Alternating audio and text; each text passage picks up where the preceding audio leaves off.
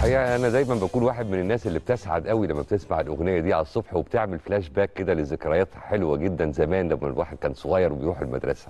حلقة نهاية الأسبوع من 10 الصبح في الأهلي صباح الفل والخيرات والبركات والنفحات على كل حضراتكم. نهاركم سعيد إن شاء الله ويومكم جميل. اسمحوا لي النهارده أكون منفردا مع حضراتكم للأسف. نهاوند غايبة عننا النهارده بس بإذن الرحمن هتكون موجودة معانا يوم الأحد الجاي إن شاء الله. خلوني كالعادة اعرف حضراتكم بداية بالنص الثاني من حلقتنا إيه اللي هيحصل فيه ومين اللي هينورنا فيه. كالعادة هيكون عندنا فقرتين حواريتين. الفقرة الأولى هيكون معانا فيها كابتن شريف عثمان وهو بطل العالم في رفع الأثقال البارالمبي وصاحب ذهبيات بطولات العالم. وأكيد هيكلمنا عن استعداداته للبارالمبيات المقبلة إن شاء الله. دي الفقرة الأولى. الفقرة الثانية هيكون معانا فيها كابتن صديق الجمال نجم النادي الأهلي السابق. وطبعا هنتكلم بقى عن كل التفاصيل المتعلقة بالأهلي بشكل عام وبمباراة العودة أو الإياب أمام الوداد المغربي في كازابلانكا إن شاء الله. أكيد هنتكلم في كتير من التفاصيل المتعلقة بهذا الأمر وبطبيعة الحال برضو لازم نبتدي معاكم بأخبار النادي الأهلي. يعني النهارده إن شاء الله الفريق هيواصل استعداداته لمواجهة الوداد في إياب نهائي دوري أبطال إفريقيا وإن شاء الله إن شاء الله إن شاء الله يوم 11 6 هتكون البطولة ال11 للنادي الأهلي وبإذن الرحمن نرجع من المغرب منصورين. الأهلي وضع قدم بالفعل منذ المباراة الماضية بعد فوزه على الوداد بنتيجة 2-1 طبعا كلنا واثقين في الفريق وكلنا وراه بطبيعة الحال وبندعمه ومنتظرين منه اللقب والفوز. مش هنتكلم كتير عن مبررات يعني ممكن تبقى يعني كانت فرضة نفسها الحقيقة الفترة اللي فاتت واتكلمنا عنها كتير فيما يتعلق بمسألة الأخطاء التحكيمية واللي عدت مرحلة الأخطاء البشرية العادية. إحنا بنتكلم على كواليتي معينة من الأخطاء كانت لافته لأنظار كل الناس القاسي والداني. مش هنتكلم تاني عن هذا الأمر ولا عن تحامل الحكم ولا عن توقعاتنا فيما يتعلق بالحكم المباراة القادمة أو جماهير الفريق المنافس. بس هنقول جملة واحدة أنا شخصيا سمعتها قبل كده من كابتن محمود الخطيب. جملة بتقول ما معناه إن الأبطال لا تعرقلهم تعرقلهم مثل هذه الأحداث في طريقهم نحو منصات التتويج. وده اللي إن شاء الله هيحصل. جماهير النادي الأهلي منتظرة اللقب من اللعيبة وزي ما اتعودنا مع النادي الأهلي مهما كان حجم البطولة اللي بيفوز بيها في اليوم اللي بعديها على طول بنلاقيه يعني بنشتغل على البطولة اللي بعدها. يعني حتى ما فيش وقت اللي يقول لك إيه اقلب الصفحة اقلب الصفحة. الحقيقة طبعا ده يتماشى تماما مع كون النادي الأهلي نادي بطولات ونادي انتصارات. ونادي دايما مجمعنا في الأفراح ويا رب دايما إن شاء الله. كمان حابب أقول للناس اللي زعلانة من نتيجة 2-1 وأنا واحد من الناس دول الحقيقة. بس تعالوا كده نفكر فيها من زاوية تانية. يعني لازم نخلي بالنا إنه برضو طبعا بداية كده كده كده قدر الله ما شاء فعل. بس أكيد النتيجة دي أفضل بكتير من التعادل أو لا سمح الله الهزيمة. الوداد محتاج يفوز بنتيجة 1-0 هناك عشان يفوز باللقب. يعني لو إحنا سجلنا هدف خلاص الأهلي فاز باللقب لأن كده الوداد هيحتاج يسجل قصاده ثلاث أهداف ولو اتعادلنا هناك هيبقى ألف مليون مبروك للنادي الأهلي بطولة إفريقيا. بالنسبة بقى للجمهور الجمهور لازم ياخد قطعية كلام مننا في كل حلقة من الحلقات الحقيقة عن جدارة وعن استحقاق. جمهور النادي الأهلي جمهور شديد الخصوصية جمهور ليه خصائص بتخليه متفرد ومختلف جدا عن غيره من جماهير الفرق الأخرى. يكفي انه جمهور واعي ومنطقي وبيحكم دايما العقلانية والمنطقية في رؤيته للأمور ودي حاجة يمكن ما بتحصلش مع جماهير كتير. يعني يعني حتى الواحد يعجز عن وصف قد إيه الجمهور ده طول عمره من قديم الأزل جمهور داعم وجمهور عظيم. جمهور بيتكبد دايما مشقة وعناء السفر وراء الفريق لأي مكان هو مسافر فيه. ولازم دايما نشكر جماهير النادي الأهلي ونقول في حقهم أحلى كلام لأن هم فعلا يستحقوا مننا أحلى كمان كلام. كمان مهم نقول إن اللي بيشوفوا الجهاز الفني مش بالضرورة يتطابق قوي أو يتماشى قوي مع اللي إحنا بنشوفه كجمهور. إحنا في الأول في الآخر مشجعين جماهير. لكن الإدارة الفنية دايما بتكون هي الأدرى بالتفاصيل. ليه بقول الكلمتين دول؟ لأن ساعات في بعض الأحيان ما بيبقاش في حاجات مرضية للجمهور. قرار ما من المدير الفني تبديل ما من المدير الفني خطة ما بيتلعب بيها الماتش من المدير الفني. كل واحد يبقى عنده تحفظاته وده حق مشروع كناس لناس بتحب النادي الأهلي بل بتتنفس النادي الأهلي. لكن في الآخر مين حتى اللي بيتحمل المسؤولية؟ ما هو اللعيبة والجهاز الفني. عشان كده لازم نكون دايما كجماهير وده اللي بيحصل دايما الحقيقة كلمة حق لازم تتقال لازم نكون دايما ورا فريقنا ورا جهازنا الفني كمان.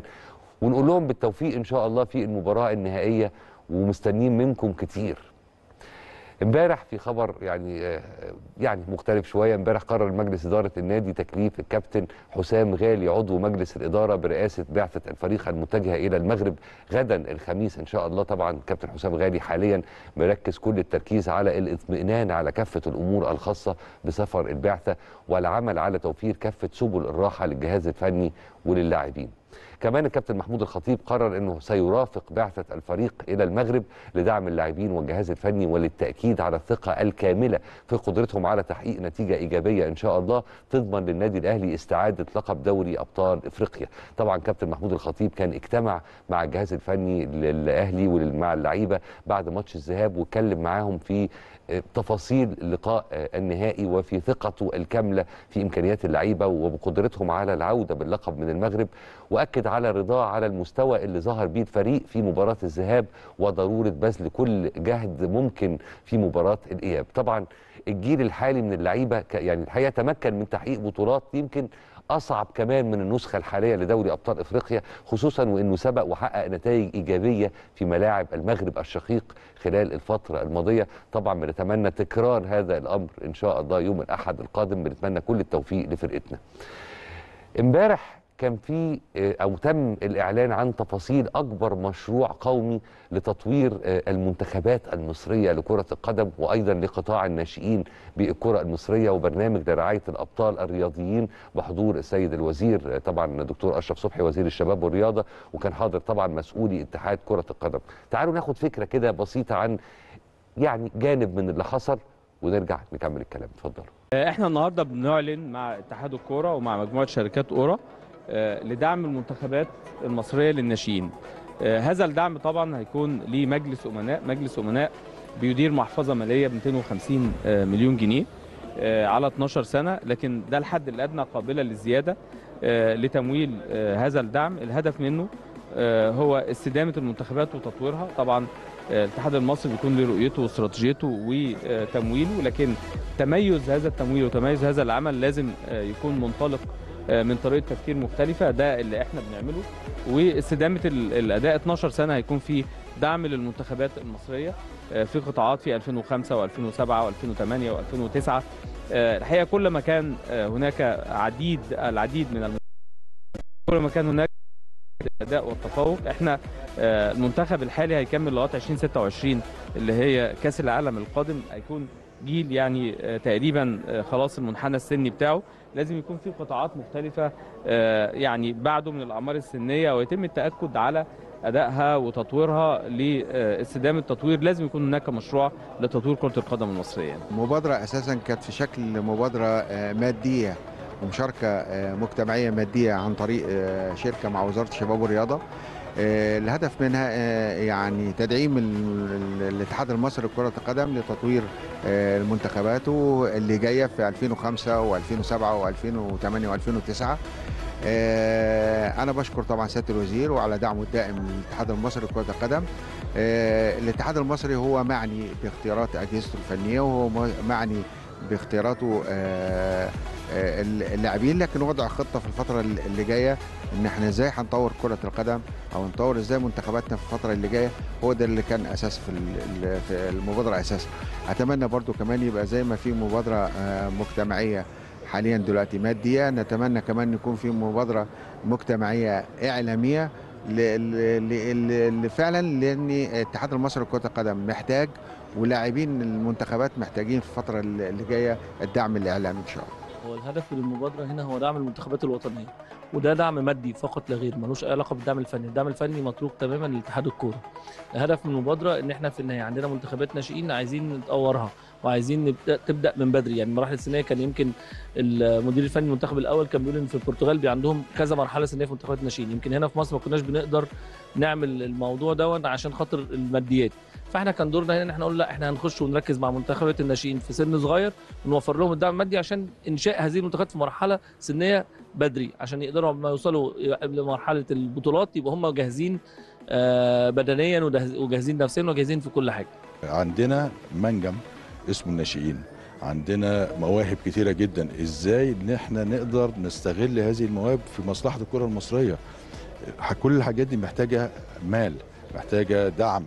محتاجة فكر محتاجة حاجات كتير جدا لأن آه، آه، ال- اللي بيشتغل في ال- الناشئين وعارف يعني إيه ناشئين وعارف يعني إيه مواهب وعارف إن في في موهبة عندك بتروح منك لأسباب كتيرة جدا إزاي أنت تحافظي على الموهبة دي وإزاي تطوريها إزاي ال- ال- اللاعب ده اللي هو محتاج حاجة معينة محتاج تدريب محتاج حاجات نفسية محتاج بدن حاجات كتير جدا. إزاي أنت تقدري تقفي على الحالة دي وتشتغل عليها؟ الحاجات دي محتاجة حاجات كتير جدا. الحقيقة اللي بيحصل ده يتقال عليه خطوة مهمة جدا تجاه يعني التعامل الأمثل بقى مع ملف المنتخبات المصرية وخصوصا المنتخب الأول لكرة القدم. يعني في أوقات سابقة الحقيقة كان منتخب مصر لكرة القدم مخيف افريقيا بالمعنى الحرفي للكلمة.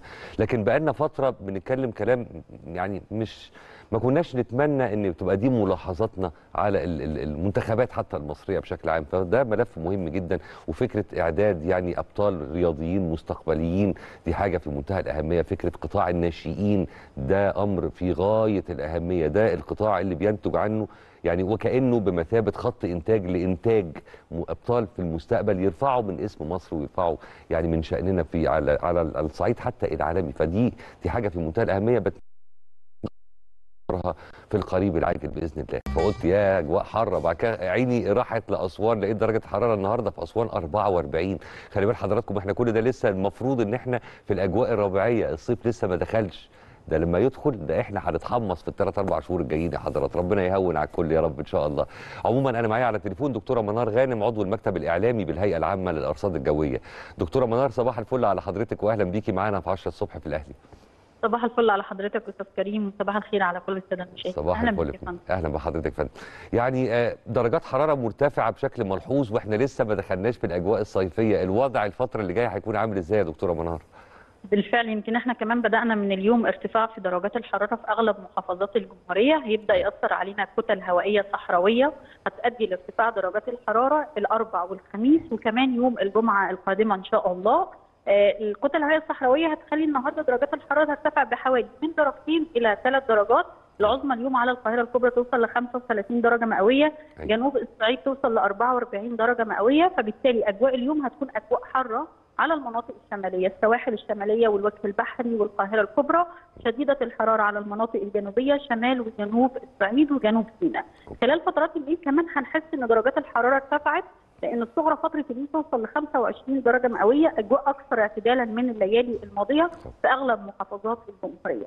كمان اليوم هنبدأ نتأثر بنشاط للرياح المثير للرمال والأتربة لكن في غرب البلاد. هيكون في الصحراء الغربية بعض المناطق من آه، مطروح والسلوم وسيوة وده بدوره هيؤدي لانخفاض وتدهور رؤية أفقية لأن في سرعات رياح عالية في المناطق الغربية هتؤدي لمزيد من الأتربة والرمال المثارة.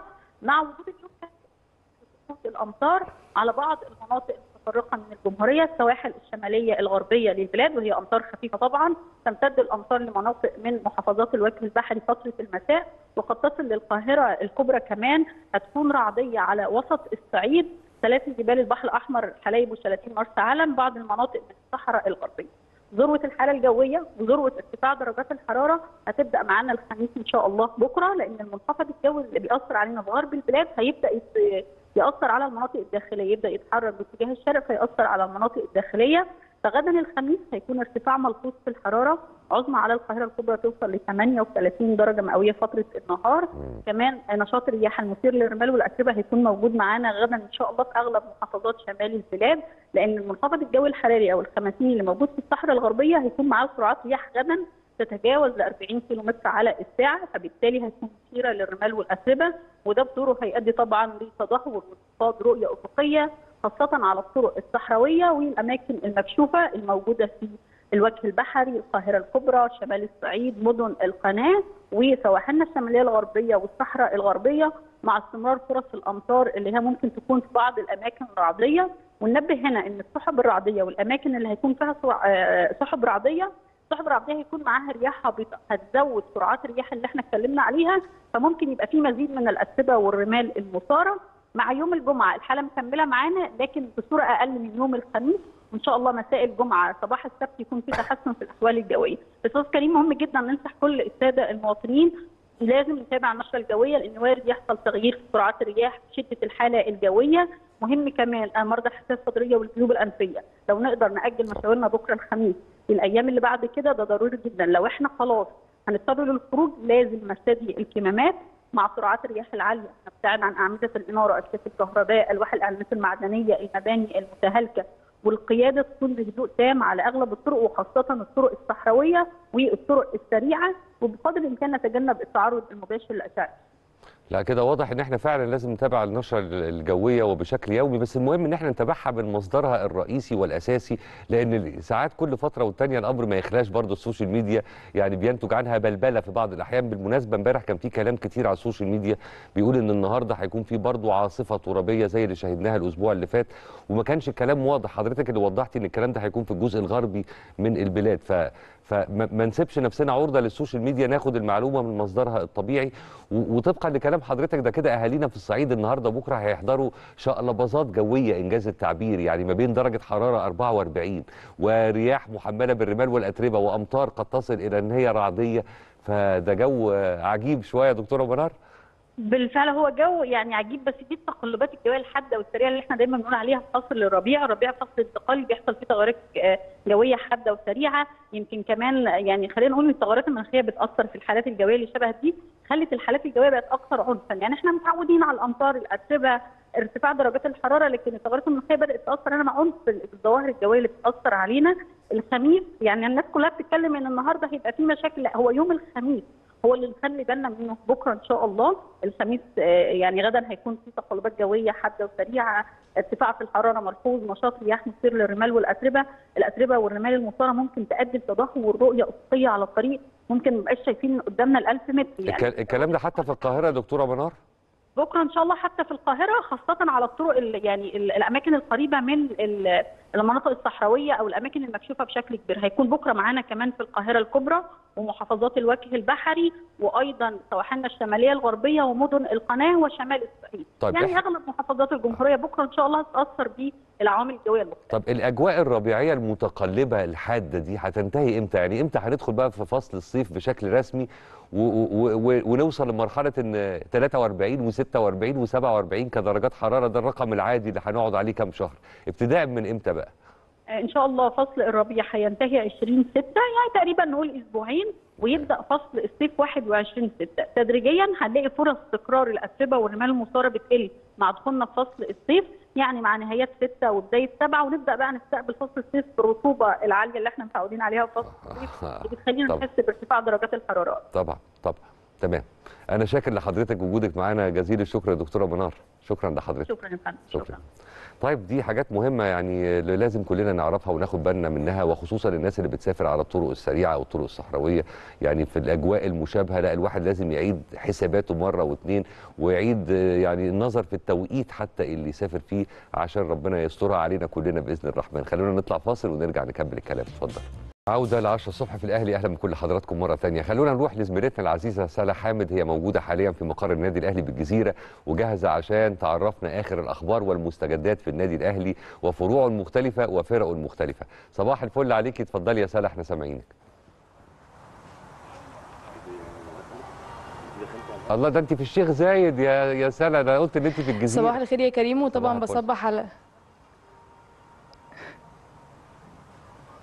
لا أنا المرة دي من الشيخ زايد. طبعا في البداية برحب بيك يا كريم وبصبح عليك وبصبح على كل مشاهدي ومتابعي شاشة قناة النادي الأهلي في كل مكان. ويوم جديد وحلقة جديدة طبعا من 10 الصبح في الأهلي. والمرة دي يعني زي ما أنت قلت يمكن النهارده مش من الجزيرة النهارده من فرع الشيخ زايد هكون معاك وأكيد مع كل مشاهدي قناة النادي الأهلي عشان نقول لكم كل الأمور والأخبار المتعلقة بالنادي الأهلي وجميع فرقه الرياضية. يمكن خليني أبتدي معاك طبعا بالفريق الأول لكرة القدم تحت قيادة مستر مارسيل كولر المدير الفني لفريق النادي الأهلي. ويمكن النهارده إن شاء الله بشكل طبيعي الفريق هيواصل تدريباته يا كريم بشكل طبيعي على ملعب مختار التتش. طبعا ده كله هيكون في إطار استعدادات الفريق. أكيد للمباراه القادمة المباراة الأصعب والأهم بالنسبة لفريق النادي الأهلي في مشواره في بطولة دوري أبطال أفريقيا وأكيد بنتكلم عن بطولة أو الدور الإياب من الدور النهائي لبطولة دوري أبطال أفريقيا أمام نادي وداد الرياضي المغربي. إن شاء الله اللي هتقام المباراة دي ما بين النادي الأهلي والوداد المغربي يوم الحد القادم وهتكون بتوقيت يعني المغرب الساعة 8 وبتوقيت القاهرة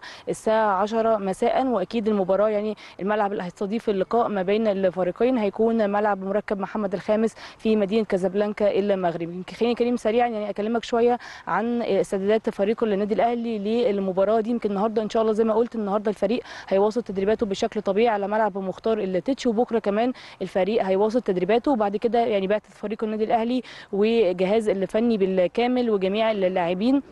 هيتمرنوا الأول الصبح وبعد كده هيتجهوا لمطار القاهرة الدولي عشان بعد كده يسافروا أكيد لدوله المغرب. ويمكن السفر إن شاء الله بالنسبة لفريق النادي الأهلي هيكون الساعة 4 العصر واللي هيكون رئيس البعثة يمكن زي ما أنت قلت يعني في بداية الحلقة هيكون الكابتن حسام غالي عضو مجلس إدارة النادي الأهلي. هو هيكون رئيسا للبعثة وكمان الكابتن محمود الخطيب رئيس مجلس إدارة النادي الأهلي يمكن قرر مرافقة الفريق في رحلته للمغرب طبعا كدعم كبير للفريق وأكيد دفعه معنويه ليهم ووجود عامة كابتن محمود الخطيب وجميع مجلس إدارة النادي الأهلي هيكون دفعه كبيرة ل يعني جميع اللاعبين. يمكن كابتن محمود الخطيب طبعا عنده ثقة كبيرة جدا إن شاء الله في جميع لاعبي النادي الأهلي إن هم عندهم القدرة وعلى قدر المسؤولية إن شاء الله إن هم يحققوا لقب بطولة دوري أبطال إفريقيا واستعادة اللقب الإفريقي مرة أخرى. طبعا بالنسبة للنادي الأهلي. ده بالنسبة للفريق الأول لكرة القدم. يمكن إن شاء الله كمان يعني خليني أضيف يا كريم وأقول لك إنه الفريق لما يوصل المغرب يمكن بكرة أو يوم الجمعة عفوا إن شاء الله يعني بعد بكرة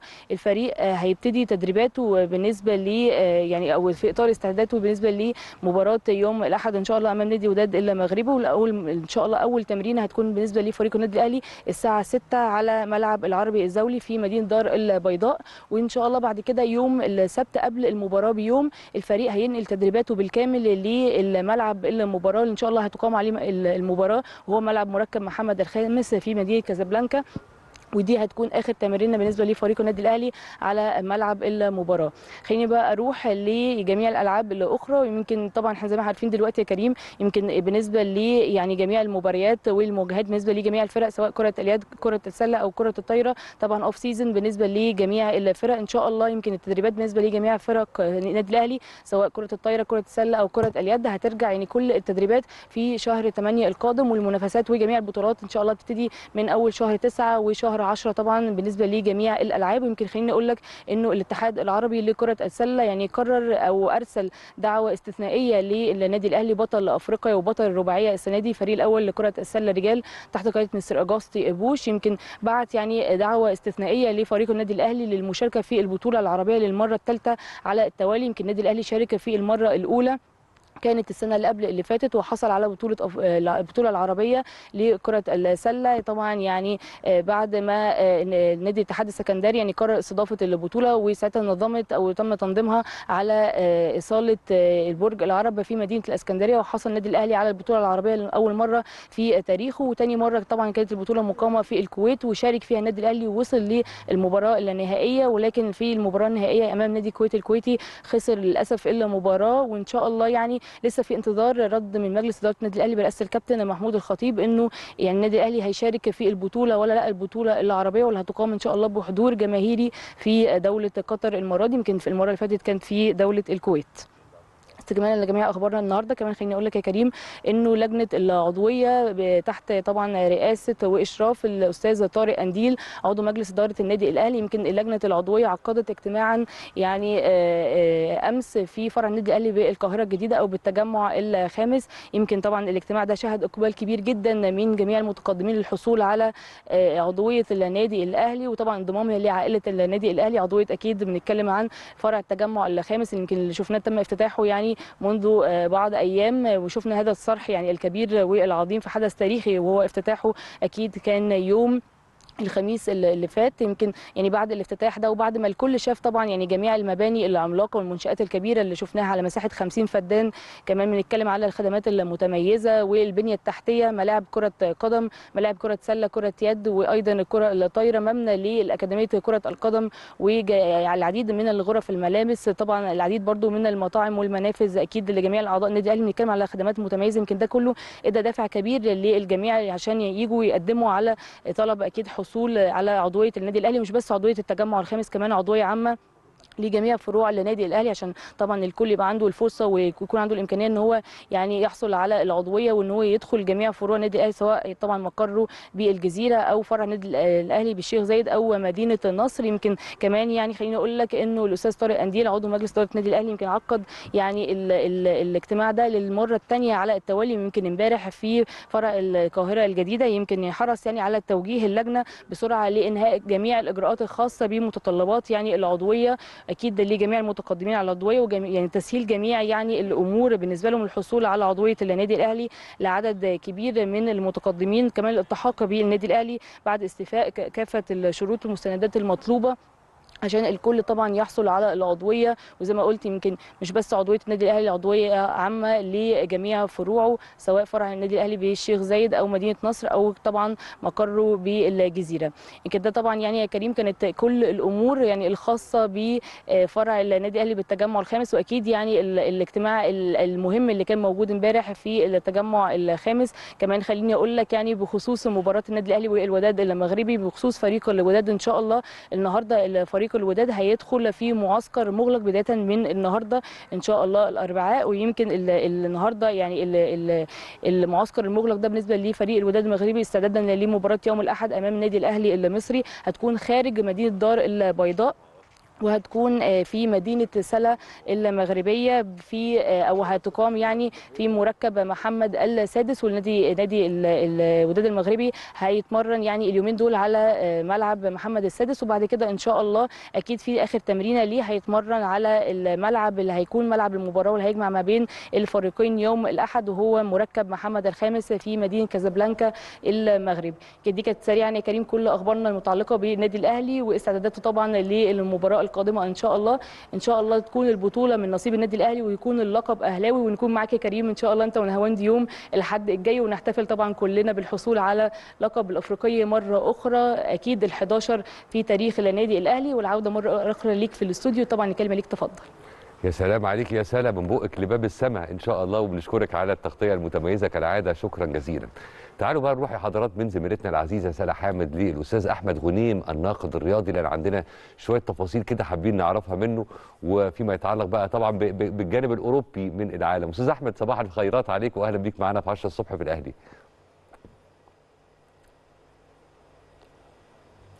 هو واضح إن الاتصال لسه مش مش واضح. قوي عموما لو تفتكروا يعني ودي برضو من ضمن الحاجات اللي عايزين نتكلم فيها في حلقتنا النهارده كان الأسبوع اللي فات معظم الكلام كان داير حوالين ميسي ورحيله عن PSG وهل كان الرحيل يتماشى مع كونه أسطورة كروية ولا ما كانش الموضوع قد كده؟ وعن وجهته المقبلة هل هيروح على الدوري الأمريكي؟ هل هيرجع لبرشلونه هل سيتوجه إلى المملكة العربية السعودية؟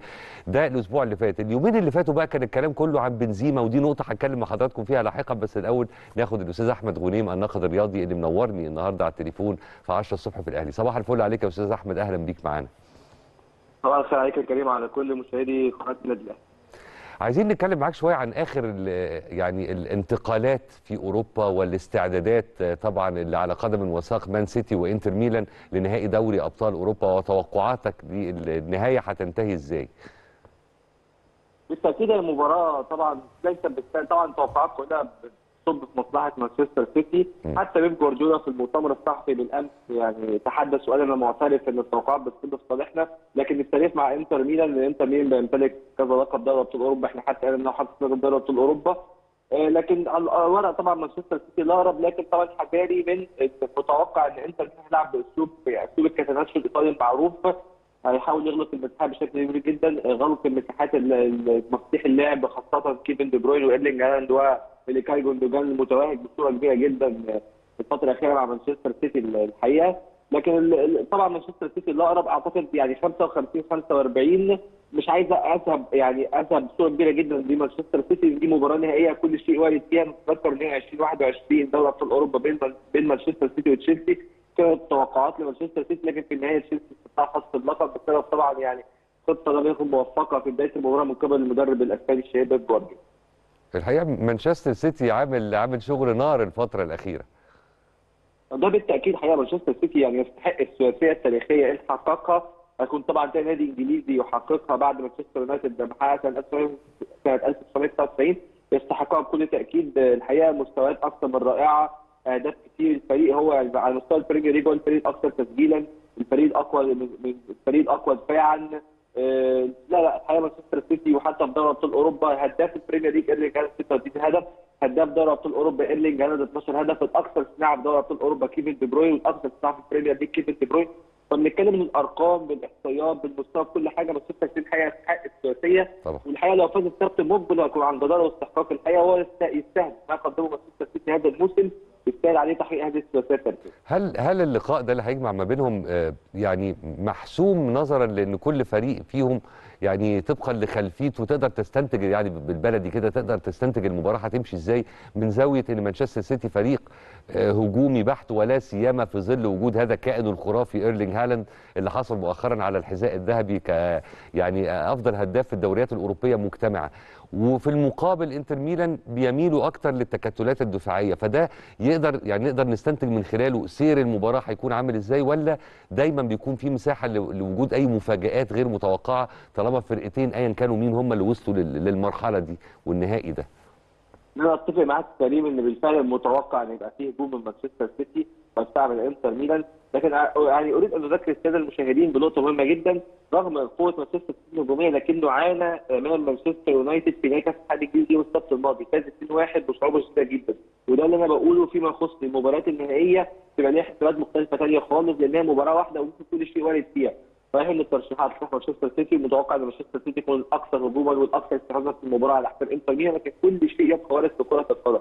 كرة القدم عودتنا على مفاجات يعني كبيرة وعجيبة جدا. وبالتالي صحيح إن مانشستر سيتي كما قلت اعيد واكرر هو الأقرب للفوز بالبطولة. لكن إنتر ميلان تبقى تبقى له حظوظ خاصة إنه الأسلوب اللي بينتهجه سيموني إنزاجي. مدرب إنتر ميلان بيعتمد على الهجوم الخاطف ودي يمكن نقطة الضعف بعض الشيء في مانشستر سيتي في بعض الأحيان إن ساعات بيحصل سرحان في وسط الملعب. ممكن يستغلوا إنتر ميلان بال- بال counter attack السريع جدا. ممكن يخطف هدف فكل الأمور وارده لكن مانشستر سيتي والله طب تعالى نقف شوية كده عند إيرلينج هالاند طالما جت جت سيرته في الكلام. يعني تعتقد إن إيرلينج هالاند هيحسم لقب الهداف الكام موسم اللي جايين؟ يعني الموضوع محسوم لصالحه ولا برضه في مساحة لوجود مفاجآت؟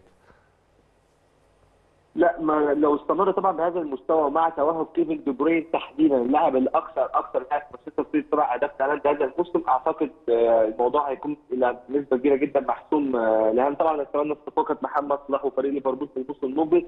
لكن نكون واقعيين مانشستر سيتي بهذا ال squad الحالي وبهذه التشكيله وبهذا التوهج إن استمروا طبعا إحنا عارفين الكورة up and down يعني في مستويات بتبقى عالية وفي. مستوى بعض اللعيبة مستواهم بيهبط بعد ذلك لكن إن استمر أكيد بالتاكيد طبعا أعتقد سيواصل يمكن يكون منافس هالاند في السنين الجايه هو كريم نجم باريس سان جيرمان لكن أنا أعتقد إن مبابي يعني عليه أن يرحل عن باريس سان جيرمان إن أراد أن يكون منافس حقيقي لإيرلينج هالاند على الكرة الذهبية ويذهب تحديدا لريال مدريد إن أراد أن يكون كذلك باستمرار في باريس سان جيرمان أعتقد هو ظل بطوله كبيرة جدا.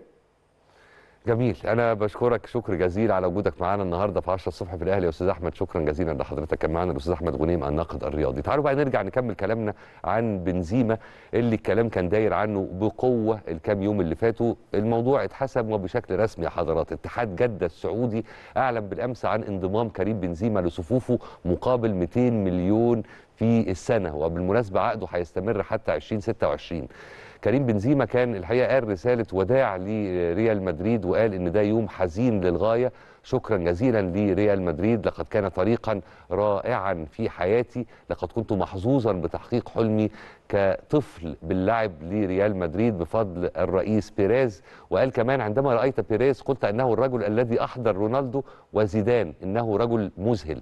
حان الآن وقت الرحيل ومشاهدة قصة أخرى. وأهم شيء بالنسبة لي أن أكون أن كل ما فزت به قد استمتعت به كطفل. شكرا أيضا لأنشيلوتي الذي منحني الثقة منذ البداية. لقد تعلمت الكثير معه. سأكون مدريدي دائما. شكرا لجماهير ريال مدريد على إعطائي هذه القوة بصفة مستمرة. فالموضوع اتحسم تعالوا بقى نعرف خلفية الموضوع ده جانب من كواليس هذا الأمر. إحنا معانا على التليفون الناقد الرياضي السعودي الأستاذ عاطف الأحمدي. أستاذ عاطف صباح الفل على حضرتك وأهلا بيك في 10 الصبح في الأهلي.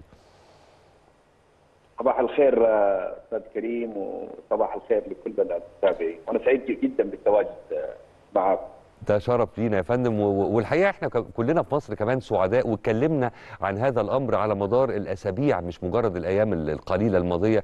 فكرة إن أنتوا عندكم في المملكة مشروع دولة حقيقي وابتدى يؤتي ثماره بالفعل مش لسه بصدد يعني إتيان ثماره.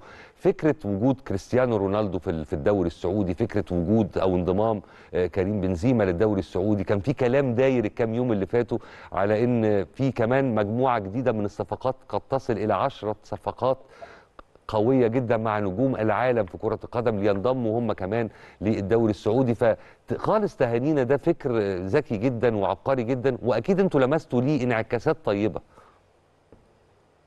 بالتأكيد آه، أستاذ كريم اليوم تتكلم على خطوات متسارعة في, في على مستوى تطوير ال- ال- الرياضة السعودية بشكل عام ممكن كرة القدم بشكل خاص. اليوم عندما يكون عندك قائد ملهم بقيمة الأمير محمد بن سلمان ووزير شغوف بقيمة الأمير عبد العزيز بن تركي بالتأكيد إحنا نلمس هذه هذه التحولات السريعة في عملية تطوير ال- الرياضة السعودية وكره ال- القدم تحديدا، بالتأكيد هذه هذه التطورات أو هذه التحركات لها انعكاسات انعكاسات على على على كرة القدم السعودية سواء على مستوى التنافسية داخل الملعب كدوري محلي سيكون له منتج قوي جدا طبعا. اللي هو المنتخب المنتخب ال- السعودي. يمكن أنا كنت معاكم في مداخلة بعد مباراة السعودية والأرجنتين في كأس العالم كأس العالم طبعا.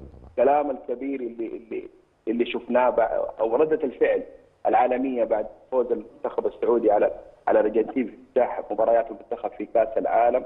الجميع بدأ يتحدث بشكل حقيقي عن ال- الكرة السعودية طبعا. آه، في ذا في ذاك الوقت. يمكن بدأ الكلام يزيد وبدأت الأنظار تتوجه بشكل أكبر عندما عند انضمام آه، العالمي كريستيانو رونالدو لنادي النصر. شفنا كيف كمية ال- ال- التوجه الإعلامي والحرص على مشاهدة آه، الدوري السعودي من كثير من القنوات. حتى وصلنا يمكن ل ل 150 قناة بتنقل في مباريات النصر بسبب تواجد آه، لاعب بقيمة ال- ال- ال- اللاعب كريستيانو رونالدو.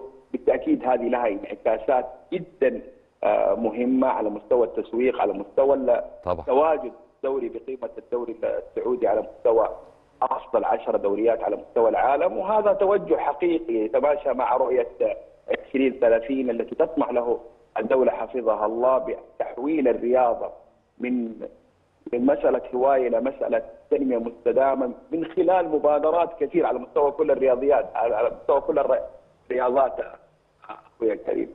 والله يا فندم يعني لو لو لو يعني لو لو اكتملت عمليات جلب المزيد من نجوم كرة القدم العالميين للدوري السعودي كده هيبقى من أقوى خمس دوريات كمان مش بس مش بس 10 دوريات. وكان في كلام اتقال على لسان كريستيانو رونالدو شخصيا بس أنا أنا عن نفسي يعني عرفته من خلال السوشيال ميديا فمش قادر يعني آه، أكون واثق قوي في مصداقية الكلام. بس يقال إن هو قال إنه ابتداء من الموسم القادم بعد جلب المزيد من النجوم العالميين سيكون الدوري السعودي فعلا من أقوى خمس دوريات على مستوى العالم. اللي اللي تابع الدوري السعودي خصوصا مباريات النصر وشفنا كمية التحديات اللي موجودة داخل أرض الملعب تجبر أي لاعب موجود ومشارك في هذه المناسبة أن ينقل هذا التصور الحقيقي عن ال- ال- الكرة السعودية. يمكن لاحظنا أول تصريح بعد انضمام بعد انضمام آه، كريستيانو رونالدو للمنتخب البرتغالي في أول أيام فيفا بعد انضمامه للنصر. شفنا كيف كان يصرح على الدوري السعودي عن قوه التنافسية اللي موجودة في الدوري السعودي، شفنا ردة الفعل اللي موجودة عند اللاعب أثناء كثير من المباريات وخصوصا المباريات اللي لم- يستطيع الانتصار آه، فيها هذا أم أم أمر طبيعي وهذا وهذا يمكن هدف من الأهداف المطروحة. آه، في نقطة مهمة أخويا كريم يمكن آه، الجميع حتما حتما سيشاهدها خلال الفترة القليلة المقبلة مع افتتاح سوق الانتقالات ال- الصيفية، يمكن بعد عملية الخصخ اللي جرت خلال ال- الأيام الماضية بتحويل أربع أندية الأندية الجماهيرية أتكلم على مستوى ال- ال- الكرة السعودية تحويلها إلى صندوق الاستثمارات ال- العامه كمالك لهذه لهذه الأندية. آه، اليوم اليوم سنعيش بإذن الله قوة التنافسية على مستوى التعاقدات. في السابق ما كانت ما كانت في قوة في عملية التنافسية على مستوى التعاقدات. اللي تجعلك تتنافس مع الأندية الكبرى على مستوى العالم سواء الأندية الأوروبية في المقام الأول أو أي نوع من من الأندية من الأندية الأخرى في عملية التعاقدات وجلب اللاعبين، اليوم حتى حتى اللاعبين لما يقدم له عرض من من فريق سعودي يمكن في السابق كانت اول أول جملة هي عملية أو جملة الرفض، لكن اليوم لا. اليوم اللاعب سيفكر حيعرف إنه رايح لدوري قوي تنافسية قوية على مستوى التسويق وال وال وال والإعلانات بشكل كبير على مستوى المشاهدات. وهذا ما يصبح له كثير من من اللاعبين موجود فعليا. اليوم نتكلم على جودة حياة بالنسبة لنا كسعوديين أو حتى حتى المقيمين على أرض هذا هذا ال- البلد العظيم أو حتى اللي قريبين من من هذا البلد في عملية الحضور ومشاهدة ما كان لا يستطيع أحد مشاهدته. يعني كان لو لما كنا نتابع اللاعبين العالمي- العالميين لابد نروح نتابعهم في الدوريات الأوروبية. اليوم هم موجودين فعليا عندنا كصفقات بدائيه مبدئية نتكلم على كريستيانو رونالدو بنزيما وما سيأتي خلال ال- الأيام المقبلة. هو ال- الحقيقة الفترة الأخيرة المملكة العربية السعودية ودي حاجة أسعدتنا كلنا كمصريين بتشهد طفرة ملحوظة على كل الأصعدة وعلى كل المستويات ومش بس على الصعيد الرياضي. قبل ما أروح مع حضرتك للحديث حول بنزيما أنا بس عايز أعرف من حضرتك ما مصير صفقة تعاقد الهلال السعودي مع ميسي؟ الأسبوعين اللي فاتوا كنت لسه بقول كده من شوية إن الأسبوعين اللي فاتوا كان في كلام كتير طبعا تزامن مع رحيل ميسي عن PSG وكان في ناس بتتكلم عن إمكانية يعني ذهابه إلى الدوري ال- الأمريكي آه، أو عودته لبرشلونة أو إنه يروح للدوري السعودي. إيه إيه يعني الأمور وصلت لإيه في هذا الإطار؟ هو بشكل يمكن كل كل الأخبار تؤكد اقتراب آه، آه، ميسي بنادي الهلال على الرغم من الدخول دخول أندية كبيرة في في عملية المفاوضات. وهذا أمر جيد. اليوم لما تتكلم على مفاوضات برشلونة يبغى ميسي نادي الهلال يحتاج ميسي هنا التنافسية هنا الأمر المحبذ اللي إحنا دائما نتكلم عنه. إحنا فرضنا آه، أنديتنا وأنديتنا فرضت نفسها على مستوى السوق ال- السوق العالم. هذا أمر جيد. اليوم لو كسب الهلال هذه الصفقة بالتأكيد الخاسر برشلونة. يوم تتكلم على خيار أمام لاعب أي. برشلونة يمكن ال- النادي اللي ترعرع فيه ميسي يمكن شا- شاهد كثير من إنجازاته. ونا- ونادي جديد في في منافسة مختلفة. حال كسب هذه الصفقة بالتأكيد المعايير المعايير ستتغير كثيرا أخويا كريم جميل. طيب فيما يتعلق ببنزيما يعني كواليس الصفقة دي كانت عاملة إزاي؟ والله شوف يمكن هذه الصفقة يمكن من شهر تقريبا إحنا نسمع نسمع أخبارها. يمكن قبل نهاية ال- المنافسة يمكن من حسن الحظ في في ال- في المفاوض الاتحاد يعني من حسن الحظ المفاوض الاتحادي إنه الاتحاد حقق الدوري.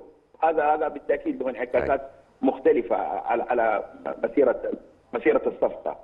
آه، بنزيما يمكن أكد إنه هو جاي لنادي كبير نادي جماهيري نادي نادي صاحب إنجازات عنده تحديات الاتحاد اليوم أمام تحدي جديد اللي هو المشاركة أو تنظيم آه، المملكه العربية السعودية حتنظم آه، آه، بطولة أندية آه، كأس العالم حيشارك فيها الاتحاد بصفته بطل بطل الدوري هذا تحدي مختلف يعني حتى حتى يمكن أول مشاركات للاعب بقيمة اللاعب كريم بنزيما حتكون في في بطولة مثل هذه هذه البطولة تحدي أمام الاتحاد إنه يقدم نفسه بشكل مميز بتواجد آه، كريم بنزيما أو حتى اللاع- اللاعبين اللي سي- سيلتحقوا مستقبلا مع مع نادي الاتحاد أو اي انديه سعودية أخرى بالتأكيد هذه التحديات جدا مميزة جدا ترفع من قيمة ال- الأندية السعودية حتجعلها أكثر. مشاهده على مستوى. على مستوى العالم. كثير يمكن ما كثير يمكن ما كان بيعرف الأندية السعودية بعمق أنا أتكلم. اليوم لا الوضع حيكون حيكون مختلف. أتوقع أتوقع توقع شخصي ولا ولا أبالغ في هذا الأمر. إنه خلال السنتين القادمة مثل ما جميع الرياضيين على مستوى العالم بيعرفوا ريال مدريد وبرشلونة حيعرفوا الأندية السعودية. طبعا وده شيء في حد ذاته يستدعي إن إحنا نعيد التهاني مرة تانية على حضرتك وعلى المملكة العربية السعودية وعلى كل أهالينا وأشقائنا في المملكة على هذا التطوير الملحوظ بل والطفرة الكبيرة اللي حصلت مؤخرا الحقيقة. وبنتمنى لكم إن شاء الله المزيد من النجاحات. أنا بشكر حضرتك شكر جزيل كان معانا الأستاذ عاطف الأحمدي الناقد الرياضي السعودي. شكرا جزيلا لحضرتك. طيب خلاص انتهت بالفعل منافسات الدوريات الأوروبية الخمس الكبرى خلال الموسم الجاري. تعالوا بقى نتعرف على يعني ملوك الأسيست إنجاز التعبير واللي طبعا يعني بيتصدرهم آه ميسي اللي صنع 16 assist في الموسم الجاري وصلاح اللي صنع 12 assist. تعالوا نشوف يعني تفاصيل آه هذا الأمر من خلال ال videograph ده ونطلع فاصل ونرجع بعدين نكمل الكلام. اتفضل. حلقتنا النهارده من 10 الصبح في الأهلي. أهلا بكل حضراتكم مرة تانية. الحقيقة ضيفي اللي منورني ومشرفني النهارده واحد من الأبطال اللي مكسرين الدنيا حرفيا مش تعبير مجازي مش صيغة مبالغة من الناس اللي مكسرين الدنيا حرفيا في البطولات القارية وكمان العالمية. وهو أيضا صاحب ثلاث ذهبيات وفضية في آه، دورات بارالمبية سابقة وأرقامه كلنا بنفخر بيها الحقيقة. منورنا النهارده كابتن شريف آه، عثمان بطل مصر في رفع الأثقال البارالمبي يا صباح الفل عليك وأهلا صباح. الفل يا أستاذ كريم إيه؟ أنا مبسوط إن أنا في القلعة الرياضية النادي الأهلي طبعا في. قناة النادي الأهلي مبسوط طبعا جدا ان مع حضرتك وصباح الفل على كل مشاهدين صباح قناة الفل. عليك أنا اللي مبسوط ومتشرف كمان لا ده شرف ليا لا. والله شرف حاجة ليا عظيمة إن الواحد يقعد مع ناس كل فترة تلاقي علم مصر بيترفع والنشيد الوطني بيتقال والناس بتحس بالوطنية. انت إحنا للأسف الشديد ما مش بنستشعر الوطنية غير في لحظات مشابهة. لما تشوف بطل من أبطالنا رافع رايتنا بالمعنى الحرفي في طبعا. محافل دولية. آه. فأنا اللي سعيد ومتشرف ده شرف ليا طبعا. وخليني أقول لحضرتك إن حضرتك بتقول الكلام. بص أنت حاسس بإيه وأنت بتقوله؟ ربنا يخليك تخيل بقى اللي اللي بيعيشه. آه طبعا. تخيل اللي طبعاً. ربنا بيجعله سبب فيه. طبعا. يعني انت أنا دايما ب... دايما بقول إن الرياضة رسالة. طبعا. الرسالة ال... ال... الرياضة بتخلي أي دولة في العالم ترفع العلم بتاعك وتقف انتباه طبعا. بدون فايت بدون قتال. صحيح. وعلى فدي ذكر رسالة. على ذكر الرسالة دي رسالة. أو الرسائل بشكل عام في رسالة ضمنية أنت واحد من الناس بعتها كتير بس الرك على اللي يشوف الرسالة ويتمعن فيها. بالظبط. فكرة إن مفيش حاجة ممكن تعرقل أي حد عن. تحقيق هدف. ابدا ابدا. فكرة الإرادة كنا بنتكلم من شوية على فكرة قبل ما نكون مع حضراتكم على الهوا في الفاصل جت سيرة التدخين وفكرة الإرادة وال- والقدرة على الإقلاع على التدخين وكلام من. فأنا كنت بتكلم بالأصالة عن نفسي وبال- و- وبالنيابه عن ناس كتير عندهم عطل ملحوظ في حتة الإرادة.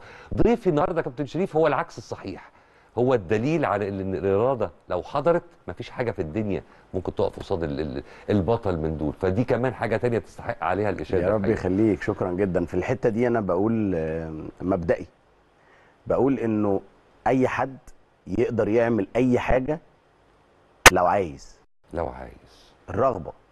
الرغبة لو اتولدت مثال. عملي بقى عشان مثال ليك أنت شخصيا. يعني من أول ما المشكلة اللي عندك أو الإعاقة اللي عندك. عملت مع هذا الملف إزاي؟ فكرت في إيه؟ حسيت قريب- بإيه؟ قريب. الأهل قالوا لك إيه؟ لا قريب كان في حد بيسألني هو أنا ليه دايما بتصور بال, بال... مم. التحية العسكرية؟ أنا ليه دايما بتصور؟ ليه دايما بتتصور؟ على على المنصة. فقلت له جملة مفيدة عارف جملة ظريفة. قلت؟ له وأنا صغير أنا اتولدت طبعا أنا طفل أنا مش فاهم. أيوة. فكل أي طفل في الكون كل الأطفال تما كانوا آه، نفسهم يبقوا ظباط. كل طبعا. طفل صغير بدلة العيد بتاعته آه بدلة ظابط. بدله الظابط. فأنا مش مدرك وهم أهلي مش عارفين يقولوا لي إن أنت مش هينفع تدخل كلية الشرطة. أوكي. فقعدت على الحال ده فترة طويلة لغاية لما أدركت إنه لأ أنا ما ينفعش أدخل كلية الشرطة. أوكي. بس أنا حاولت أعمل اللي أنا كنت عايز أعمله وأنا في كلية الشرطة بس بطريقة تانية. أي حاجة في الكون ليها أكتر من طريق. أنا كان نفسي أشرف بلدي أشرف آه، أهلي أسرتي ومش بس الضباط اللي بيعملوا كده الضباط بيعملوا كده القوات المسلحة بتعمل كده الشرطة طبعا. بتعمل كده طبعا. دكاترة بيعملوا كده المهندسين بيعملوا كده الرياضيين بيعملوا كده الإعلاميين بيعملوا كده وعلى فكرة ال- ال- اللي انت عملته والإنجازات اللي انت حققتها خليت كل المواطنين بما فيهم رجال الشرطة والجيش والقوات المسلحة يردوا عليك التحية نفس العسكرية التحية. نفس يعني التحية أنا ح... أنا حتى يعني حتى لما بفتكر أنا من صغري آه يعني حتى الصورة جت اهي إيه. أنا من صغري وأنا دايما آه، بحب اللي بيتعمله القوات المسلحة والشرطة المصرية طبعا. فأنا نفسي أحيي العلم فجيت في أول بطولة رسمية أول بطولة رسمية ليا كانت كوريا 2006 كانت بطولة عالم. أوكي. عملت فضة. فاللي بيعمل فضة الثلاث أعلام لو حضرتك طبعا طبعاً، آه، طبعاً. اتفرجت على مراسم طبعاً، التتويج العلم ال- بتاع المركز الأول بيبقى شوية أعلى مرتفع أعلى. وبعدين. السلام الوطني بيتعزف لصاحب المركز الأول. طبعا. فقعدت حزين أنا جدا أنا كان نفسي احيي العلم من اول ما بطولة حققتش الغرض من وجهة آه. لا أنا أنا زعلان عملت فضة فأصريت إن أنا أيوة. لا أنا هتمرن تاني وهعمل أكتر وأكتر عشان خاطر آه، أحيي العلم وكان أول أول حدث كبير كان الدوره الأولمبية بكين 2008 م- التحيه اللي إحنا دي, شايفينها دي بقى آخر؟ بطولة دي آخر بطولة دي, دي خالص. كانت هنا في مصر okay. دورة آه، sorry بطولة أفريقيا okay. وكانت خطوة من خطوات التأهل لباريس 2024 إن شاء الله بداية مشوارك بقى الرياضي. الرياضي أنا- اللي كان داعم ليك فيه؟ وكل أو أو. اول اول أنا اول اولا أنا من أبناء محافظة المنيا من مركز. بني مزار من قرية صفت أبو جرج. آه، خليني أقول لك إن أنا آه، أخ لست إخوات. ما شاء الله ما شاء الله. آه، والدي أنا أنا أكبر واحد. أوكي. فلك أن تتخيل إنه الابن الأول لراجل صعيدي عايش في قرية اتولد معاق. فاللي هو الشعب المصري كله بتحكمه العاطفة. آه طبعا. فالناس كلها زعلت و... واللي جيراننا يقول له ده أنا هجوزه بنتي ما تزعلش وإحنا هنساعده وإحنا مش عارف إيه. التعاطف يعني. فآه هو ده التعاطف. أيوة. فأنا لما لما بدأت بس أسمع الكلام ده من بدري لاقي بدري آه بدري. وحش ده. لا ما أنا ما عجبنيش. الكلام. أنا ما عجبنيش الكلام. أنا قلت لهم لا أنا أنا أنا عايز أعمل حاجة عايز أعمل رسالة في حياتي تقول إنه لا هو أي حد يقدر ينتج. يقدر يساعد. هو مش مش مش لازم المعاق حركيا أو أو بصريا أو أي نوع من أنواع الإعاقات مش لازم إحنا نساعده لا هو ممكن يساعد الناس. صحيح. واشتغلت على الفكرة دي. okay. حلم والدتي فيا كان إن هي تشوفني دكتور. فقعدت أذاكر بقى وعارف واجتهد بقى و... لغاية لما خلصت الثانوية العامة فلا مجموعي ما جابش كلية طب ف okay. أنا شاب بقى زي أي شاب فمش مش هدخل كلية الطب. فقلت لا خلاص أنا بص هنا بقى الفكرة اللي هو انت رايح كده فالطريق اتعرقل. فلا ما اقفش ساكت. أنا. هروح من حتة تانية. أنا هذاكر وهجتهد وهبقى دكتور في كلية الآداب اللي أنا دخلتها. وبرضه دكتور. أيوة. اللقب. طبعا. طبعا. يعني أكاديمي أنا. آه أنا عايز أنا. عايز أنا عايز أحقق حلم والدتي. أيوه. آه، ما جبتش برضو تقديرات كويسة في الكلية. وبرضه ما سكتش. مش ساكت. أنا طبعا. مش عارف ما بعرفش أسكت. أنا ما بعرفش أسكت.